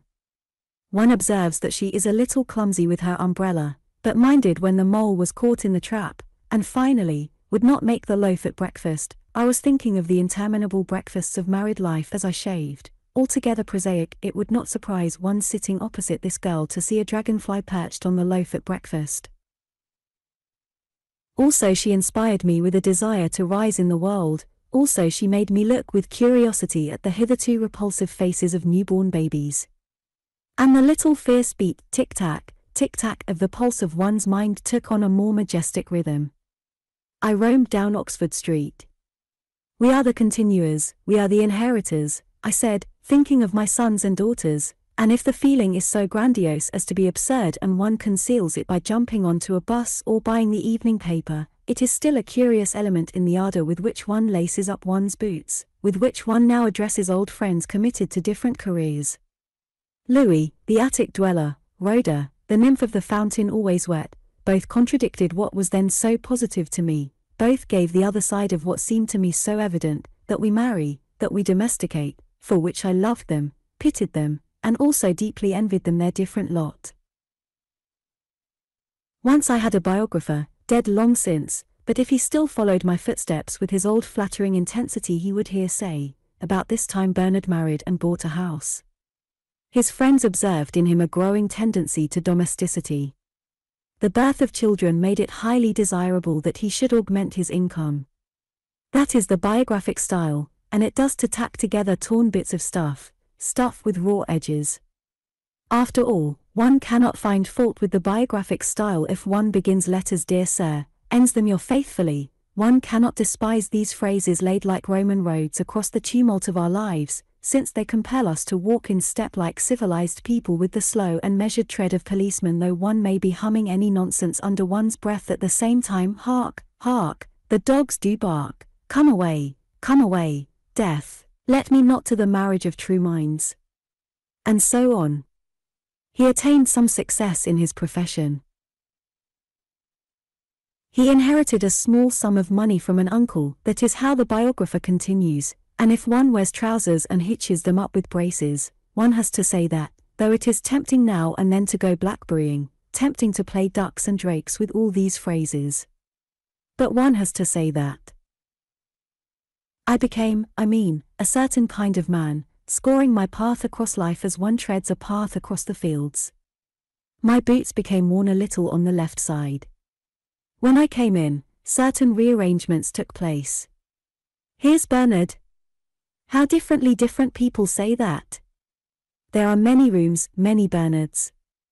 There was the charming, but weak, the strong, but supercilious, the brilliant, but remorseless, the very good fellow, but, I make no doubt, the awful bore, the sympathetic, but cold, the shabby, but go into the next room, the foppish, worldly, and too well dressed. What I was to myself was different, was none of these. I am inclined to pin myself down most firmly there before the loaf at breakfast with my wife, who being now entirely my wife and not at all the girl who wore when she hoped to meet me a certain rose, gave me that feeling of existing in the midst of unconsciousness such as the tree frog must have couched on the right shade of green leaf. Pass. I would say.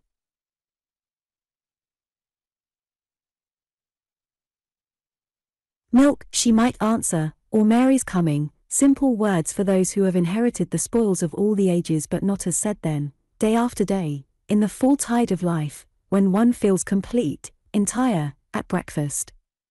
Muscles, nerves, intestines, blood vessels, all that makes the coil and spring of our being, the unconscious hum of the engine, as well as the dart and flicker of the tongue, function superbly. Opening, shutting, shutting, opening, eating, drinking, Sometimes speaking, the whole mechanism seemed to expand, to contract, like the mainspring of a clock.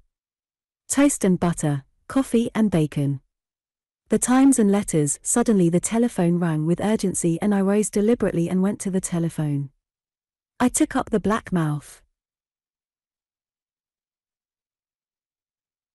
I marked the ease with which my mind adjusted itself to assimilate the message it might be, one has these fancies, to assume command of the British Empire. I observed my composure. I remarked with what magnificent vitality the atoms of my attention dispersed, swarmed round the interruption, assimilated the message, adapted themselves to a new state of affairs and had created, by the time I put back the receiver, a richer, stronger, a more complicated world in which I was called upon to act my part and had no doubt whatever that I could do it. Clapping my hat on my head, I strode into a world inhabited by vast numbers of men who had also clapped their hats on their heads, and as we jostled and encountered in trains and tubes, we exchanged the knowing wink of competitors and comrades braced with a thousand snares and dodges to achieve the same end, to earn our livings. Life is pleasant. Life is good. The mere process of life is satisfactory. Take the ordinary man in good health. He likes eating and sleeping. He likes the snuff of fresh air and walking at a brisk pace down the strand. Or in the country there's a cock crowing on a gate, there's a foal galloping round a field. Something always has to be done next. Tuesday follows Monday, Wednesday Tuesday. Each spreads the same ripple of well-being, repeats the same curve of rhythm, covers fresh sand with a chill or ebbs a little slackly without. So the being grows rings, identity becomes robust. What was fiery and furtive like a fling of grain cast into the air and blown hither and thither by wild gusts of life from every quarter is now methodical and orderly and flung with a purpose, so it seems. Lord, how pleasant! Lord, how good! How tolerable is the life of little shopkeepers, I would say, as the train drew through the suburbs and one saw lights in bedroom windows. Active, energetic as a swarm of ants, I said, as I stood at the window and watched workers, bag in hand, stream into town. What hardness, what energy and violence of limb, I thought, seeing men in white drawers scouring after a football on a patch of snow in January. Now being grumpy about some small matter, it might be the meat, it seemed luxurious to disturb with a little ripple the enormous stability, whose quiver, for our child was about to be born, increased its joy, of our married life. I snapped at dinner. I spoke unreasonably as if, being a millionaire, I could throw away five shillings, or, being a perfect steeplejack, stumbled over a footstool on purpose. Going up to bed, we settled our quarrel on the stairs, and standing by the window looking at a sky clear like the inside of a blue stone, heaven be praised, I said, we need not whip this prose into poetry. The little language is enough. For the space of the prospect and its clarity seemed to offer no impediment whatsoever, but to allow our lives to spread out and out beyond all bristling of roofs and chimneys to the flawless verge. Into this crashed death, Percival's. Which is happiness? I said, our child had been born, which pain, referring to the two sides of my body, as I came downstairs, making a purely physical statement. Also, I made note of the state of the house, the curtain blowing, the cook singing, the wardrobe showing through the half opened door. I said, give him, myself, another moment's respite as I went downstairs. Now in this drawing room he is going to suffer. There is no escape. But for pain words are lacking. There should be cries, cracks, fissures, whiteness passing over chintz covers, interference with the sense of time, of space, the sense also of extreme fixity in passing objects, and sounds very remote and then very close, flesh being gashed and blood spurting, a joint suddenly twisted, beneath all of which appears something very important, yet remote, to be just held in solitude. So I went out. I saw the first morning he would never see, the sparrows were like toys dangled from a string by a child. To see things without attachment, from the outside, and to realize their beauty in itself, how strange.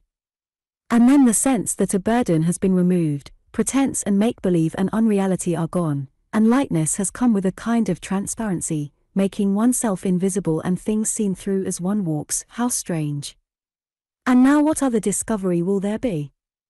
I said, and in order to hold it tight, ignored newspaper placards and went and looked at pictures. Madonnas and pillars, arches, and orange trees, still as on the first day of creation, but acquainted with grief, there they hung, and I gazed at them. Here, I said, we are together without interruption. This freedom, this immunity, seemed then a conquest, and stirred in me such exultation that I sometimes go there, even now, to bring back exultation and Percival. But it did not last. What torments one is the horrible activity of the mind's eye, how he fell, how he looked, where they carried him, men in loincloths, pulling ropes, the bandages and the mud, then comes the terrible pounce of memory, not to be foretold, not to be warded off, that I did not go with him to Hampton Court. That claw scratched, that fang tore, I did not go. In spite of his impatiently protesting that it did not matter, why interrupt, why spoil our moment of uninterrupted community? Still, I repeated sullenly, I did not go, and so, driven out of the sanctuary by these officious devils, went to Jinny because she had a room, a room with little tables, with little ornaments scattered on little tables. There I confessed, with tears, I had not gone to Hampton Court. And she, remembering other things, to me trifles but torturing to her, showed me how life withers when there are things we cannot share. Soon, too, a maid came in with a note, and as she turned to answer it and I felt my own curiosity to know what she was writing and to whom, I saw the first leaf fall on his grave. I saw us push beyond this moment, and leave it behind us forever. And then sitting side by side on the sofa, we remembered inevitably what had been said by others the lily of the day is fairer far in May. We compared Percival to a lily, Percival whom I wanted to lose his hair, to shock the authorities, to grow old with me. He was already covered with lilies. So the sincerity of the moment passed, so it became symbolical, and that I could not stand. Let us commit any blasphemy of laughter and criticism rather than exude this lily-sweet glue, and cover him with phrases, I cried. Therefore I broke off, and Jinny, who was without future, or speculation, but respected the moment with complete integrity, gave her body a flick with the whip, powdered her face, for which I loved her, and waved to me as she stood on the doorstep, pressing her hand to her hair so that the wind might not disorder it, a gesture for which I honored her as if it confirmed our determination not to let lilies grow. I observed with disillusioned clarity the despicable nonentity of the street, its porches, its window curtains, the drab clothes, the cupidity and complacency of shopping women, and old men taking the air in comforters, the caution of people crossing, the universal determination to go on living, when really, fools and gulls that you are, I said, any slate may fly from a roof, any car may swerve, for there is neither rhyme nor reason when a drunk man staggers about with a club in his hand. That is all. I was like one admitted behind the scenes, like one shown how the effects are produced. I returned, however, to my own snug home and was warned by the parlourmaid to creep upstairs in my stockings.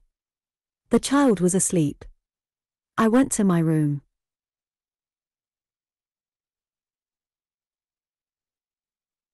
Was there no sword, nothing with which to batter down these walls, this protection, this begetting of children and living behind curtains, and becoming daily more involved and committed, with books and pictures?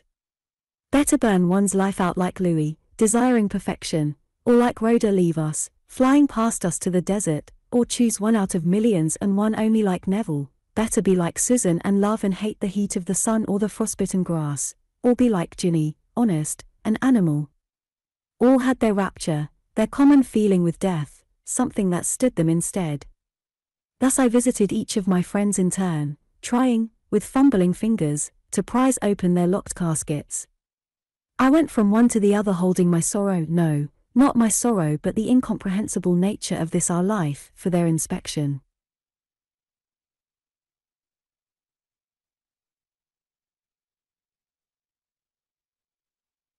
Some people go to priests, others to poetry, I to my friends, I to my own heart, I to seek among phrases and fragments something unbroken, I to whom there is not beauty enough in moon or tree, to whom the touch of one person with another is all, yet who cannot grasp even that, who am so imperfect, so weak, so unspeakably lonely. There I Saturday. Should this be the end of the story? A kind of sigh? A last ripple of the wave? A trickle of water in some gutter where, burbling, it dies away. Let me touch the table, so, and thus recover my sense of the moment. A sideboard covered with cruets, a basket full of rolls, a plate of bananas, these are comfortable sights. But if there are no stories, what end can there be, or what beginning? Life is not susceptible perhaps to the treatment we give it when we try to tell it. Sitting up late at night it seems strange not to have more control. Pigeonholes are not then very useful. It is strange how force ebbs away and away into some dry creek.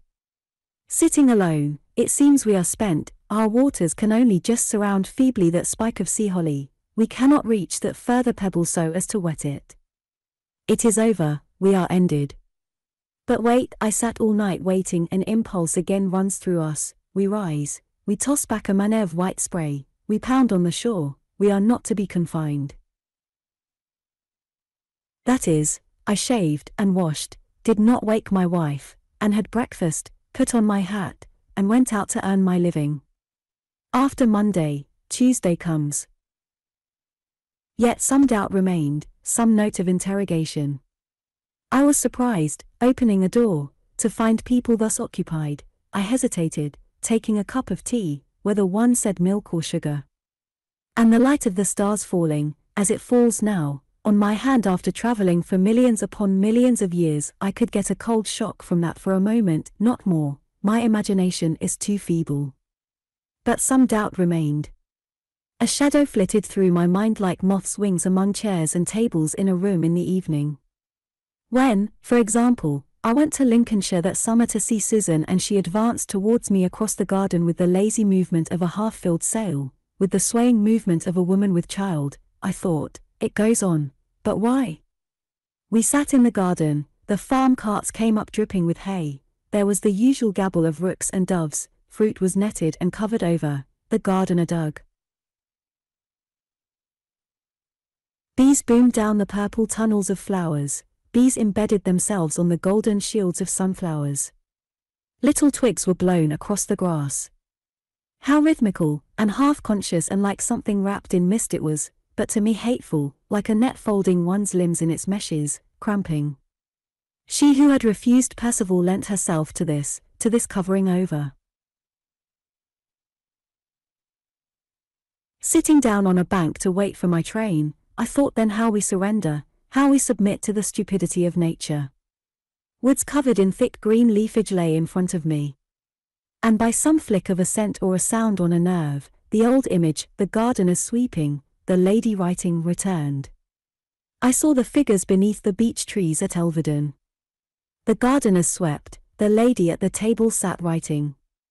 But I now made the contribution of maturity to childhood's intuitions, satiety, and doom, the sense of what is unescapable in our lot, death, the knowledge of limitations, how life is more obdurate than one had thought it. Then, when I was a child, the presence of an enemy had asserted itself, the need for opposition had stung me. I had jumped up and cried, Let's explore. The horror of the situation was ended. Now, what situation was there to end? Dullness and doom. And what to explore? The leaves and the wood concealed nothing. If a bird rose, I should no longer make a poem, I should repeat what I had seen before.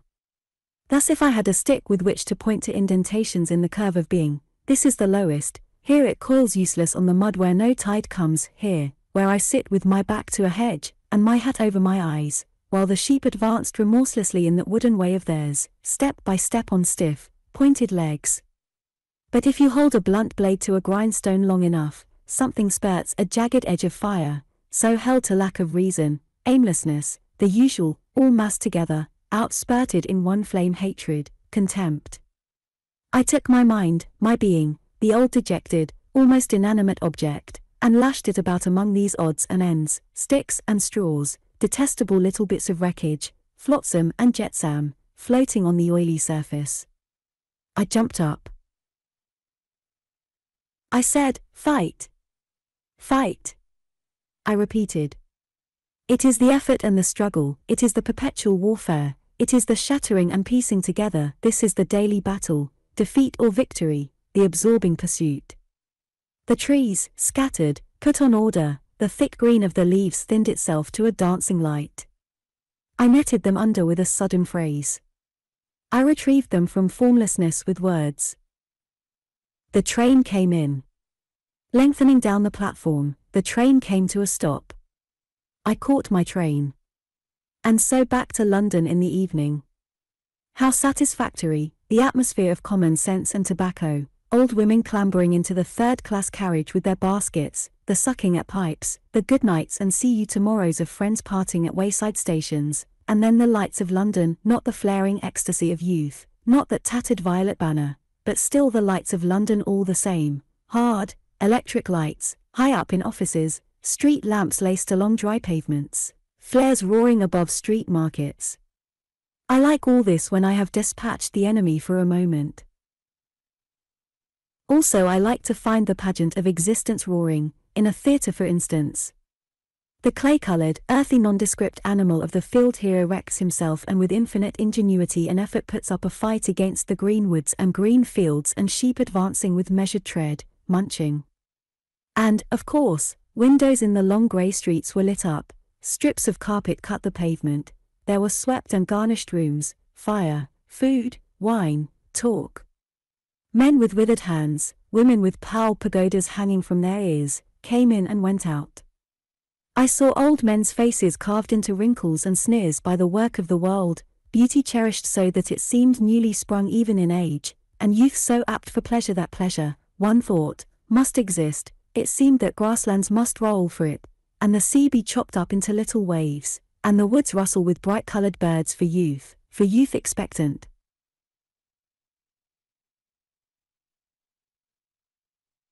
There one met Jinny and Hal, Tom and Betty, there we had our jokes and shared our secrets, and never parted in the doorway without arranging to meet again in some other room as the occasion, as the time of the year, suggested. Life is pleasant, life is good. After Monday comes Tuesday, and Wednesday follows. Yes, but after a time with a difference. It may be that something in the look of the room one night, in the arrangement of the chairs, suggests it. It seems comfortable to sink down on a sofa in a corner, to look, to listen. Then it happens that two figures standing with their backs to the window appear against the branches of a spreading willow. With a shock of emotion, one feels there are figures without features robed in beauty. In the pause that follows while the ripples spread, the girl to whom one should be talking says to herself, He is old. But she is wrong. It is not age, it is that a drop has fallen, another drop. Time has given the arrangement another shake. Out we creep from the arch of the current leaves, out into a wider world. The true order of things, this is our perpetual illusion, is now apparent. Thus, in a moment, in a drawing room, our life adjusts itself to the majestic march of day across the sky. It was for this reason that instead of pulling on my patent leather shoes and finding a tolerable tie, I sought Neville. I sought my oldest friend, who had known me when I was Byron, when I was Meredith's young man, and also that hero in a book by Dostoevsky whose name I have forgotten. I found him alone, reading. A perfectly neat table, a curtain pulled methodically straight, a paper knife dividing a French volume nobody, I thought, ever changes the attitude in which we saw them first, or the clothes. Here he has sat in this chair, in these clothes, ever since we first met. Here was freedom, here was intimacy, the firelight broke off some round apple on the curtain.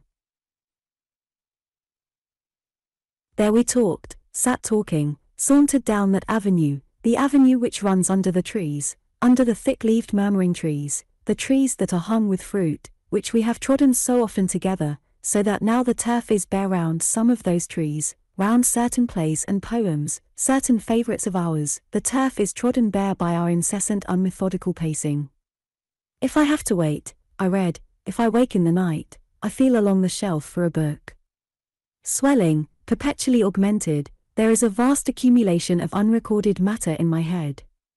Now and then I break off a lump, Shakespeare it may be, it may be some old woman called Peck, and say to myself, smoking a cigarette in bed, that's Shakespeare. That's Peck, with a certainty of recognition and a shock of knowledge which is endlessly delightful, though not to be imparted. So we shared our Pecks, our Shakespeares, compared each other's versions, allowed each other's insight to set our own Peck or Shakespeare in a better light, and then sank into one of those silences which are now and again broken by a few words, as if a fin rose in the wastes of silence, and then the fin, the thought, sinks back into the depths, spreading round it a little ripple of satisfaction, content. Yes, but suddenly one hears a clock tick, we who had been immersed in this world became aware of another. It is painful. It was Neville who changed our time. He, who had been thinking with the unlimited time of the mind, which stretches in a flash from Shakespeare to ourselves, poked the fire and began to live by that other clock which marks the approach of a particular person. The wide and dignified sweep of his mind contracted. He became on the alert. I could feel him listening to sounds in the street. I noted how he touched a cushion.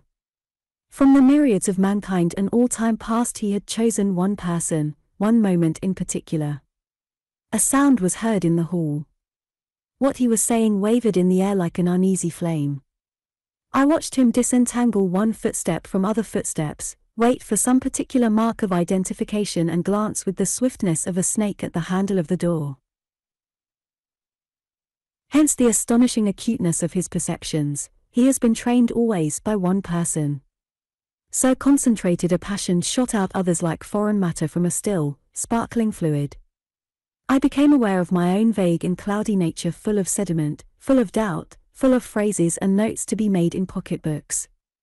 The folds of the curtain became still, statuesque, the paperweight on the table hardened, the threads on the curtain sparkled, everything became definite, external, a scene in which I had no part. I rose, therefore, I left him. Heavens! How they caught me as I left the room, the fangs of that old pain. The desire for someone not there. For whom? I did not know at first, then remembered Percival. I had not thought of him for months. Now to laugh with him, to laugh with him at Neville, that was what I wanted, to walk off arm in arm together laughing. But he was not there. The place was empty. It is strange how the dead leap out on us at street corners, or in dreams. This fitful gust blowing so sharp and cold upon me sent me that night across London to visit other friends, Rhoda and Louis, desiring company, certainty, contact. I wondered, as I mounted the stairs, what was their relationship? What did they say alone? I figured her awkward with the tea kettle. She gazed over the slate roofs, the nymph of the fountain always wet, obsessed with visions, dreaming. She parted the curtain to look at the night. Away, she said. The moor is dark beneath the moon. I rang, I waited. Louis perhaps poured out milk in a saucer for the cat, Louis, whose bony hands shut like the sides of a dock closing themselves with a slow anguish of effort upon an enormous tumult of waters, who knew what has been said by the Egyptian, the Indian, by men with high cheekbones and solitaires in hair shirts. I knocked, I waited, there was no answer. I tramped down the stone stairs again. Our friends, how distant, how mute, how seldom visited and little known. And I, too, am dim to my friends and unknown, a phantom, sometimes seen, often not. Life is a dream surely. Our flame, the will o' the wisp that dances in a few eyes, is soon to be blown out and all will fade. I recalled my friends. I thought of Susan. She had bought fields. Cucumbers and tomatoes ripened in her hothouses. The vine that had been killed by last year's frost was putting out a leaf or two. She walked heavily with her sons across her meadows. She went about the land attended by men in gaiters, pointing with her stick at a roof, at hedges, at walls fallen into disrepair. The pigeons followed her, waddling, for the grain that she let fall from her capable, earthy fingers. But I no longer rise at dawn, she said. Then Jinny entertaining, no doubt, some new young man. They reached the crisis of the usual conversation. The room would be darkened, chairs arranged. For she still sought the moment. Without illusions, hard and clear as crystal, she rode at the day with her breast bared. She let its spikes pierce her. When the lock whitened on her forehead, she twisted it fearlessly among the rest. So when they come to bury her, nothing will be out of order. Bits of ribbons will be found curled up. But still the door opens. Who is coming in? She asks, and rises to meet him, prepared, as on those first spring nights when the tree under the big London houses where respectable citizens were going soberly to bed scarcely sheltered her love, and the squeak of trams mixed with her cry of delight and the rippling of leaves had to shade her languor, her delicious lassitude as she sank down called by all the sweetness of nature satisfied. Our friends, how seldom visited, how little known, it is true, and yet, when I meet an unknown person, and try to break off, here at this table, what I call my life, it is not one life that I look back upon, I am not one person, I am many people, I do not altogether know who I am, Jinny, Susan, Neville, Rhoda, or Louis, or how to distinguish my life from theirs. So I thought that night in early autumn when we came together and dined once more at Hampton Court. Our discomfort was at first considerable, for each by that time was committed to a statement, and the other person coming along the road to the meeting place dressed like this or that, with a stick or without, seemed to contradict it. I saw Jinny look at Susan's earthy fingers and then hide her own. I, considering Neville, so neat and exact, felt the nebulosity of my own life blurred with all these phrases. He then boasted, because he was ashamed of one room and one person and his own success. Louis and Rhoda, the conspirators, the spies at table, who take notes, felt, after all, Bernard can make the waiter fetch us rolls, a contact denied us. We saw for a moment laid out among us the body of the complete human being whom we have failed to be, but at the same time, cannot forget. All that we might have been we saw, all that we had missed, and we grudged for a moment the other's claim, as children when the cake is cut, the one cake, the only cake, watch their slice diminishing. However, we had our bottle of wine, and under that seduction lost our enmity, and stopped comparing. And, halfway through dinner, we felt enlarge itself round us the huge blackness of what is outside us, of what we are not. The wind, the rush of wheels became the roar of time, and we rushed where? And who were we? We were extinguished for a moment, went out like sparks in burnt paper and the blackness roared. Past time, past history we went.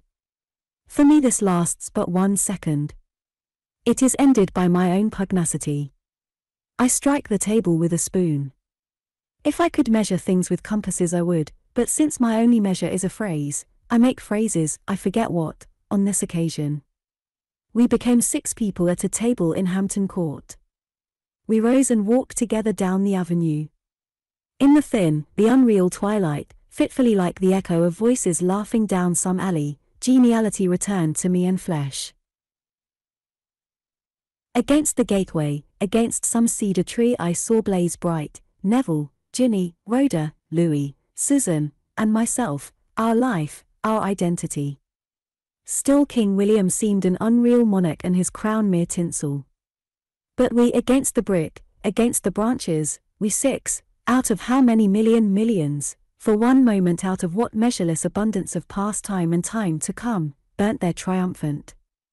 The moment was all, the moment was enough. And then Neville, Jinny, Susan, and I, as a wave breaks, burst asunder, surrendered to the next leaf, to the precise bird, to a child with a hoop, to a prancing dog, to the warmth that is hoarded in woods after a hot day, to the lights twisted like white ribbon on rippled waters. We drew apart, we were consumed in the darkness of the trees, leaving Rhoda and Louis to stand on the terrace by the urn. When we emerged from that immersion, how sweet, how deep! And came to the surface and saw the conspirators still standing there, it was with some compunction. We had lost what they had kept. We interrupted. But we were tired, and whether it had been good or bad, accomplished or left undone, the dusky veil was falling upon our endeavors, the lights were sinking as we paused for a moment upon the terrace that overlooks the river. The steamers were landing their trippers on the bank, there was a distant cheering, the sound of singing, as if people waved their hats and joined in some last song.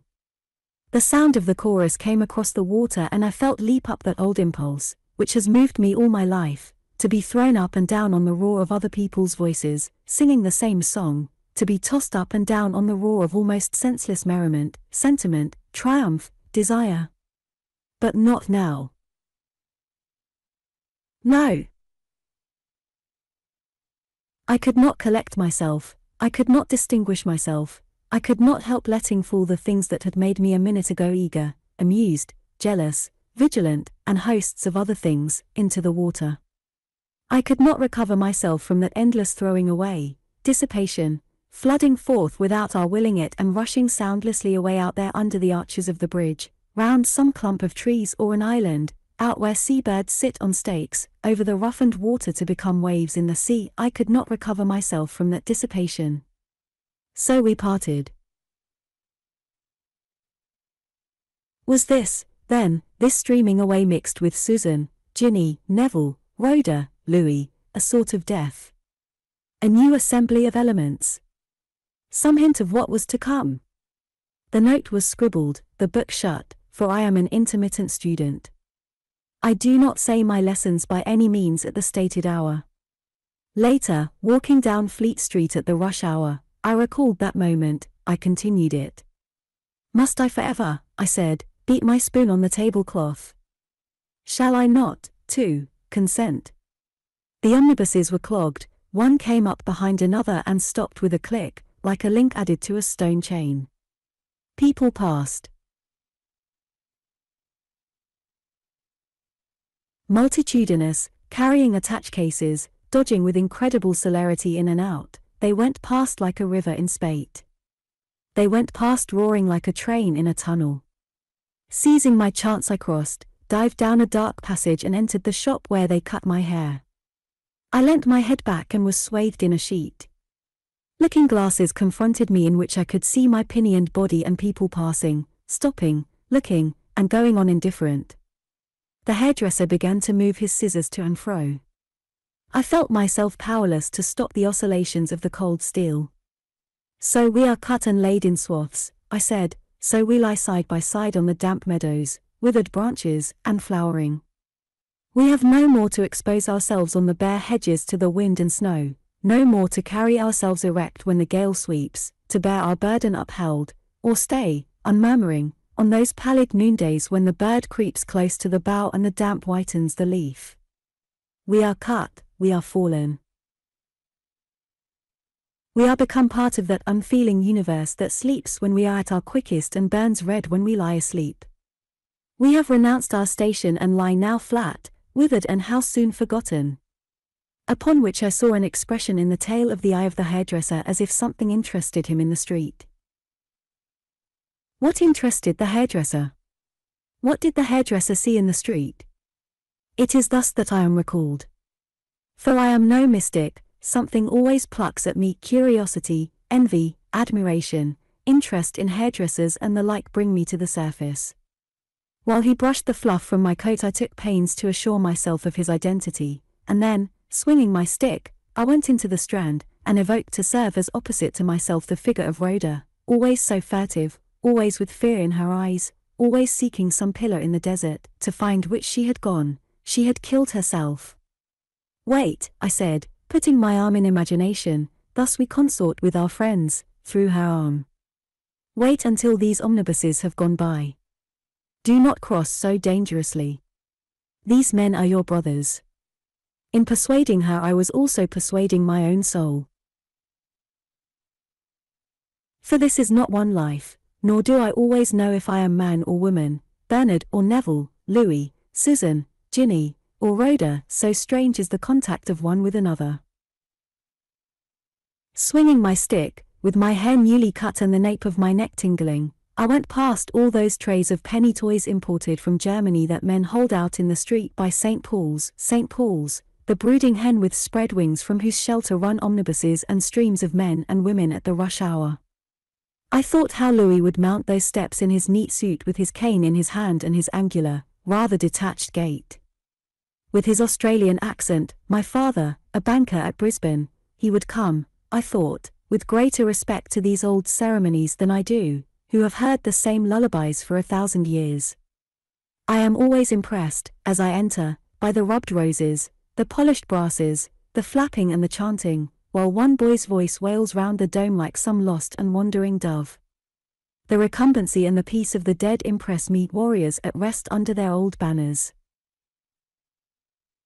Then I scoff at the floridity and absurdity of some scrolloping tomb, and the trumpets and the victories and the coats of arms and the certainty, so sonorously repeated, of resurrection, of eternal life. My wondering and inquisitive eye then shows me an awe-stricken child, a shuffling pensioner, or the obeisances of tired shopgirls burdened with heaven knows what strife in their poor thin breasts come to solace themselves in the rush hour. I stray and look and wonder, and sometimes, rather furtively, try to rise on the shaft of somebody else's prayer into the dome, out, beyond, wherever they go.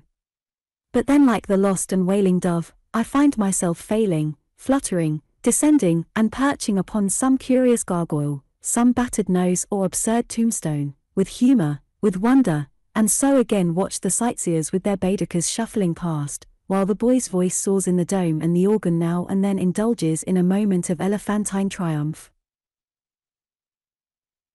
How then, I asked, would Louis roof us all in? How would he confine us, make us one, with his red ink, with his very fine nib? The voice petered out in the dome, wailing. So into the street again, swinging my stick, looking at wire trays in stationers' shop windows, at baskets of fruit grown in the colonies, murmuring Pillicock sat on Pillicock's hill, or hark, hark, the dogs do bark, or the world's great age begins anew, or come away, come away, death mingling nonsense and poetry, floating in the stream. Something always has to be done next. Tuesday follows Monday, Wednesday, Tuesday. Each spreads the same ripple. The being grows rings, like a tree. Like a tree, leaves fall. For one day as I leant over a gate that led into a field, the rhythm stopped, the rhymes and the hummings, the nonsense and the poetry. A space was cleared in my mind. I saw through the thick leaves of habit. Leaning over the gate, I regretted so much litter, so much unaccomplishment and separation, for one cannot cross London to see a friend, life being so full of engagements, nor take ship to India and see a naked man spearing fish in blue water. I said life had been imperfect, an unfinishing phrase. It had been impossible for me, taking snuff as I do from any bagman met in a train, to keep coherency, that sense of the generations, of women carrying red pitchers to the Nile, of the nightingale who sings among conquests and migrations. It had been too vast an undertaking, I said, and how can I go on lifting my foot perpetually to climb the stair? I addressed myself as one would speak to a companion with whom one is voyaging to the North Pole.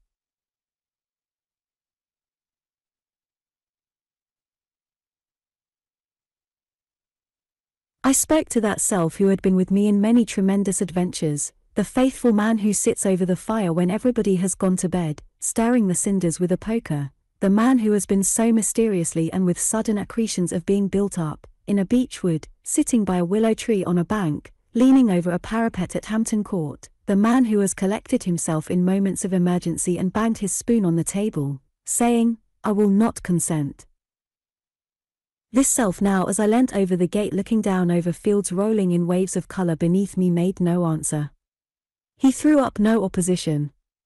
He attempted no phrase. His fist did not form. I waited. I listened. Nothing came, nothing. I cried then with a sudden conviction of complete desertion, now there is nothing. No fin breaks the waste of this immeasurable sea. Life has destroyed me. No echo comes when I speak, no varied words. This is more truly death than the death of friends, than the death of youth. I am the swathed figure in the hairdresser's shop taking up only so much space. The scene beneath me withered. It was like the eclipse when the sun went out and left the earth, flourishing in full summer foliage, withered, brittle, false. Also I saw on a winding road in a dust dance the groups we had made, how they came together, how they ate together, how they met in this room or that. I saw my own indefatigable busyness, how I had rushed from one to the other, fetched and carried, travelled and returned, joined this group and that, here kissed, here withdrawn, always kept hard at it by some extraordinary purpose, with my nose to the ground like a dog on the scent, with an occasional toss of the head, an occasional cry of amazement, despair, and then back again with my nose to the scent, what a litter, what a confusion, with here birth, here death, succulence and sweetness, effort and anguish, and myself always running hither and thither. Now it was done with. I had no more appetites to glut, no more stings in me with which to poison people, no more sharp teeth and clutching hands or desire to feel the pear and the grape and the sun beating down from the orchard wall. The woods had vanished, the earth was a waste of shadow. No sound broke the silence of the wintry landscape. No cock crowed, no smoke rose, no train moved.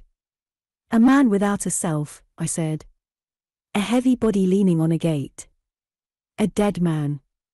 With dispassionate despair, with entire disillusionment, I surveyed the dust dance, my life, my friends' lives, and those fabulous presences, men with brooms, women writing, the willow tree by the river, clouds and phantoms made of dust too, of dust that changed, as clouds lose and gain and take gold or red and lose their summits and billow this way and that, mutable, vain. I, carrying a notebook, making phrases, had recorded mere changes, a shadow. I had been sedulous to take note of shadows. How can I proceed now, I said, without a self, weightless and visionless, through a world weightless, without illusion?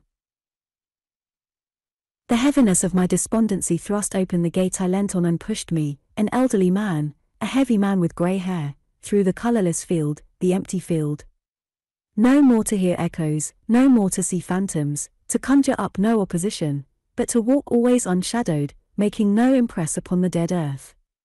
If even there had been sheep munching, pushing one foot after another, or a bird, or a man driving a spade into the earth, had there been a bramble to trip me, or a ditch, damp with soaked leaves, into which to fall, but no, the melancholy path led along the level, to more wintriness and pallor and the equal and uninteresting view of the same landscape. How then does light return to the world after the eclipse of the sun? Miraculously. Frailly. In thin stripes. It hangs like a glass cage. It is a hoop to be fractured by a tiny jar. There is a spark there. Next moment a flush of dun. Then a vapor as if earth were breathing in and out, once, twice, for the first time. Then under the dullness someone walks with a green light. Then off twists a white wraith. The woods throb blue and green, and gradually the fields drink in red, gold, brown. Suddenly a river snatches a blue light.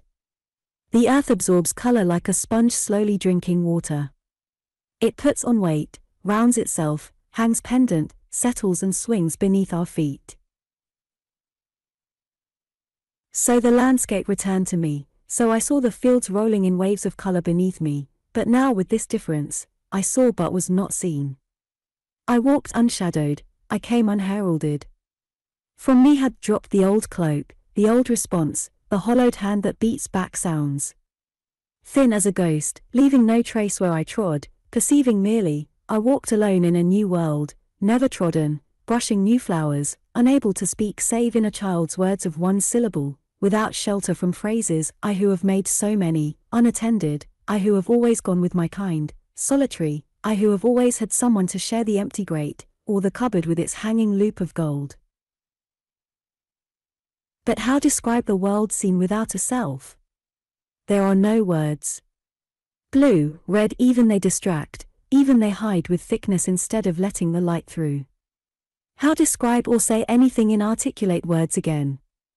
Save that it fades, save that it undergoes a gradual transformation, becomes, even in the course of one short walk, habitual, this scene also. Blindness returns as one moves and one leaf repeats another. Loveliness returns as one looks, with all its train of phantom phrases. One breathes in and out substantial breath, down in the valley the train draws across the fields lop-eared with smoke. But for a moment I had sat on the turf somewhere high above the flow of the sea and the sound of the woods, had seen the house, the garden, and the waves breaking. The old nurse who turns the pages of the picture book had stopped and had said, Look. This is the truth.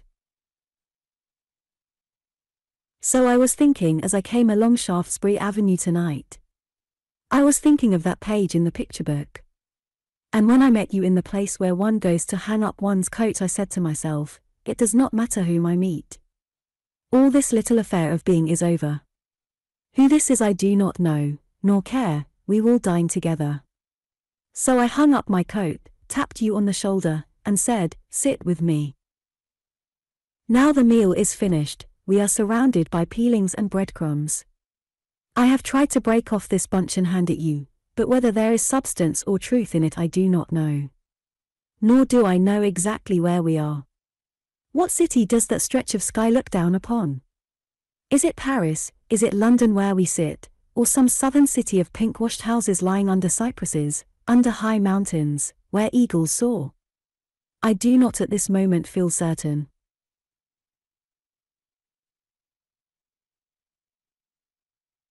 I begin now to forget, I begin to doubt the fixity of tables, the reality of here and now, to tap my knuckles smartly upon the edges of apparently solid objects and say, Are you hard?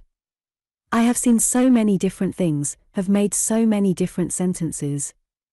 I have lost in the process of eating and drinking and rubbing my eyes along surfaces that thin, hard shell which cases the soul, which, in youth, shuts one in, hence the fierceness, and the tap, tap, tap of the remorseless beaks of the young. And now I ask, who am I? I have been talking of Bernard, Neville, Jinny, Susan, Rhoda, and Louis. Am I all of them? Am I one and distinct? I do not know. We sat here together. But now Percival is dead, and Rhoda is dead, we are divided, we are not here. Yet I cannot find any obstacle separating us. There is no division between me and them. As I talked, I felt I am you. This difference we make so much of, this identity we so feverishly cherish, was overcome. Yes, ever since old Mrs. Constable lifted her sponge and pouring warm water over me covered me with flesh I have been sensitive, percipient. Here on my brow is the blow I got when Percival fell. Here on the nape of my neck is the kiss Jinny gave Louis. My eyes fill with Susan's tears. I see far away, quivering like a gold thread, the pillar Rhoda saw, and feel the rush of the wind of her flight when she leapt. Thus, when I come to shape here at this table between my hands the story of my life and set it before you as a complete thing, I have to recall things gone far, gone deep, sunk into this life or that and become part of it, dreams, too, things surrounding me, and the inmates, those old half articulate ghosts who keep up their hauntings by day and night, who turn over in their sleep, who utter their confused cries, who put out their phantom fingers and clutch at me as I try to escape, shadows of people one might have been, unborn selves. There is the old brute, too, the savage, the hairy man who dabbles his fingers in ropes of entrails, and gobbles and belches, whose speech is guttural, visceral, well, he is here. He squats in me. Tonight he has been feasted on quails, salad, and sweetbread. He now holds a glass of fine old brandy in his paw. He brindles, purrs, and shoots warm thrills all down my spine as I sip. It is true, he washes his hands before dinner, but they are still hairy. He buttons on trousers and waistcoats, but they contain the same organs. He jibs if I keep him waiting for dinner. He mops and mows perpetually, pointing with his half-idiot gestures of greed and covetousness at what he desires. I assure you, I have great difficulty sometimes in controlling him. That man, the hairy, the ape-like, has contributed his part to my life. He has given a greener glow to green things, has held his torch with its red flames, its thick and smarting smoke, behind every leaf. He has lit up the cool garden even. He has brandished his torch in murky by-streets where girls suddenly seem to shine with a red and intoxicating translucency. Oh, he has tossed his torch high. He has led me wild dances. But no more. Now tonight, my body rises tier upon tier like some cool temple whose floor is strewn with carpets and murmurs rise and the altars stand smoking, but up above, here in my serene head, comes only fine gusts of melody, waves of incense, while the lost dove wails, and the banners tremble above tombs, and the dark airs of midnight shake trees outside the open windows. When I look down from this transcendency, how beautiful are even the crumbled relics of bread. What shapely spirals the peelings of pears make, how thin, and mottled like some seabird's egg. Even the forks laid straight side by side appear lucid, logical, exact, and the horns of the rolls which we have left are glazed, yellow-plated, hard. I could worship my hand even, with its fan of bones laced by blue mysterious veins and its astonishing look of aptness, suppleness, and ability to curl softly or suddenly crush its infinite sensibility. Immeasurably receptive, holding everything, trembling with fullness, yet clear, contained, so my being seems, now that desire urges it no more out and away, now that curiosity no longer dyes it a thousand colors. It lies deep, tideless, immune, now that he is dead, the man I called Bernard, the man who kept a book in his pocket in which he made notes, phrases for the moon, notes of features, how people looked, turned, dropped their cigarette ends, under B, butterfly powder, under D, ways of naming death. But now let the door open, the glass door that is forever turning on its hinges. Let a woman come, let a young man in evening dress with a moustache sit down. Is there anything that they can tell me? No, I know all that, too. And if she suddenly gets up and goes, my dear, I say, you no longer make me look after you. The shock of the falling wave which has sounded all my life, which woke me so that I saw the gold loop on the cupboard, no longer makes quiver what I hold. So now, taking upon me the mystery of things, I could go like a spy without leaving this place, without stirring from my chair. I can visit the remote verges of the desert lands where the savage sits by the campfire. Day rises, the girl lifts the watery fire-hearted jewels to her brow, the sun levels his beams straight at the sleeping house, the waves deepen their bars, they fling themselves on shore, back blows the spray, sweeping their waters they surround the boat and the sea holly. The birds sing in chorus, deep tunnels run between the stalks of flowers, the house is whitened, the sleeper stretches, gradually all is astir. Light floods the room and drives shadow beyond shadow to where they hang in folds inscrutable. What does the central shadow hold? Something? Nothing? I do not know. Oh, but there is your face. I catch your eye. I, who had been thinking myself so vast, a temple, a church, a whole universe, unconfined and capable of being everywhere on the verge of things and here too, am now nothing but what you see an elderly man, rather heavy, grey above the ears, who, I see myself in the glass, leans one elbow on the table, and holds in his left hand a glass of old brandy. That is the blow you have dealt me. I have walked bang into the pillar box. I reel from side to side. I put my hands to my head. My hat is off, I have dropped my stick. I have made an awful ass of myself and am justly laughed at by any passer-by. Lord, how unutterably disgusting life is! What dirty tricks it plays us, one moment free, the next, this. Here we are among the breadcrumbs and the stained napkins again. That knife is already congealing with grease. Disorder, sordidity, and corruption surround us. We have been taking into our mouths the bodies of dead birds. It is with these greasy crumbs, slobbered over napkins, and little corpses that we have to build. Always it begins again, always there is the enemy, eyes meeting ours, fingers twitching ours, the effort waiting. Call the waiter. Pay the bill. We must pull ourselves up out of our chairs. We must find our coats. We must go. Must, must, must, detestable word.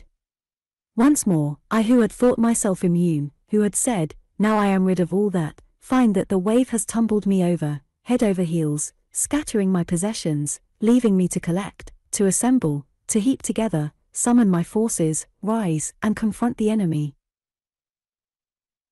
It is strange that we, who are capable of so much suffering, should inflict so much suffering. Strange that the face of a person whom I scarcely know save that I think we met once on the gangway of a ship bound for Africa a mere adumbration of eyes, cheeks, nostrils, should have power to inflict this insult. You look, eat, smile, are bored, pleased, annoyed, that is all I know. Yet this shadow which has sat by me for an hour or two, this mask from which peep two eyes, has power to drive me back, to pinion me down among all those other faces, to shut me in a hot room, to send me dashing like a moth from candle to candle. But wait. While they add up the bill behind the screen, wait one moment. Now that I have reviled you for the blow that sent me staggering among peelings and crumblings and old scraps of meat, I will record in words of one syllable how also under your gaze with that compulsion on me I begin to perceive this, that and the other. The clock ticks, the woman sneezes, the waiter comes, there is a gradual coming together, running into one, acceleration and unification. Listen, a whistle sounds, wheels rush, the door creaks on its hinges. I regain the sense of the complexity and the reality and the struggle, for which I thank you. And with some pity, some envy and much goodwill, take your hand and bid you good night. Heaven be praised for solitude. I am alone now. That almost unknown person has gone, to catch some train, to take some cab, to go to some place or person whom I do not know. The face looking at me has gone. The pressure is removed. Here are empty coffee cups. Here are chairs turned but nobody sits on them. Here are empty tables and nobody any more coming to dine at them tonight. Let me now raise my song of glory. Heaven be praised for solitude. Let me be alone. Let me cast and throw away this veil of being, this cloud that changes with the least breath, night and day, and all night and all day.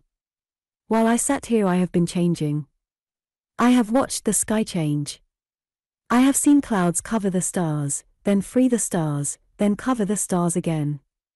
Now I look at their changing no more. Now no one sees me and I change no more. Heaven be praised for solitude that has removed the pressure of the eye, the solicitation of the body, and all need of lies and phrases. My book, stuffed with phrases, has dropped to the floor.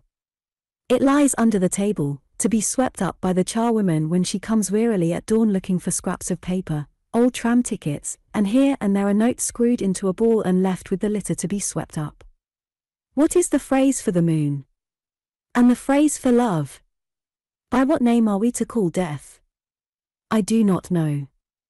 I need a little language such as lovers use, words of one syllable such as children speak when they come into the room and find their mother sewing and pick up some scrap of bright wool, a feather, or a shred of chintz. I need a howl, a cry. When the storm crosses the marsh and sweeps over me where I lie in the ditch unregarded, I need no words. Nothing neat. Nothing that comes down with all its feet on the floor. None of those resonances and lovely echoes that break and chime from nerve to nerve in our breasts, making wild music, false phrases. I have done with phrases. How much better is silence, the coffee cup, the table? How much better to sit by myself like the solitary seabird that opens its wings on the stake. Let me sit here forever with bare things, this coffee cup, this knife, this fork, things in themselves, myself being myself. Do not come and worry me with your hints that it is time to shut the shop and be gone. I would willingly give all my money that you should not disturb me but will let me sit on and on, silent, alone.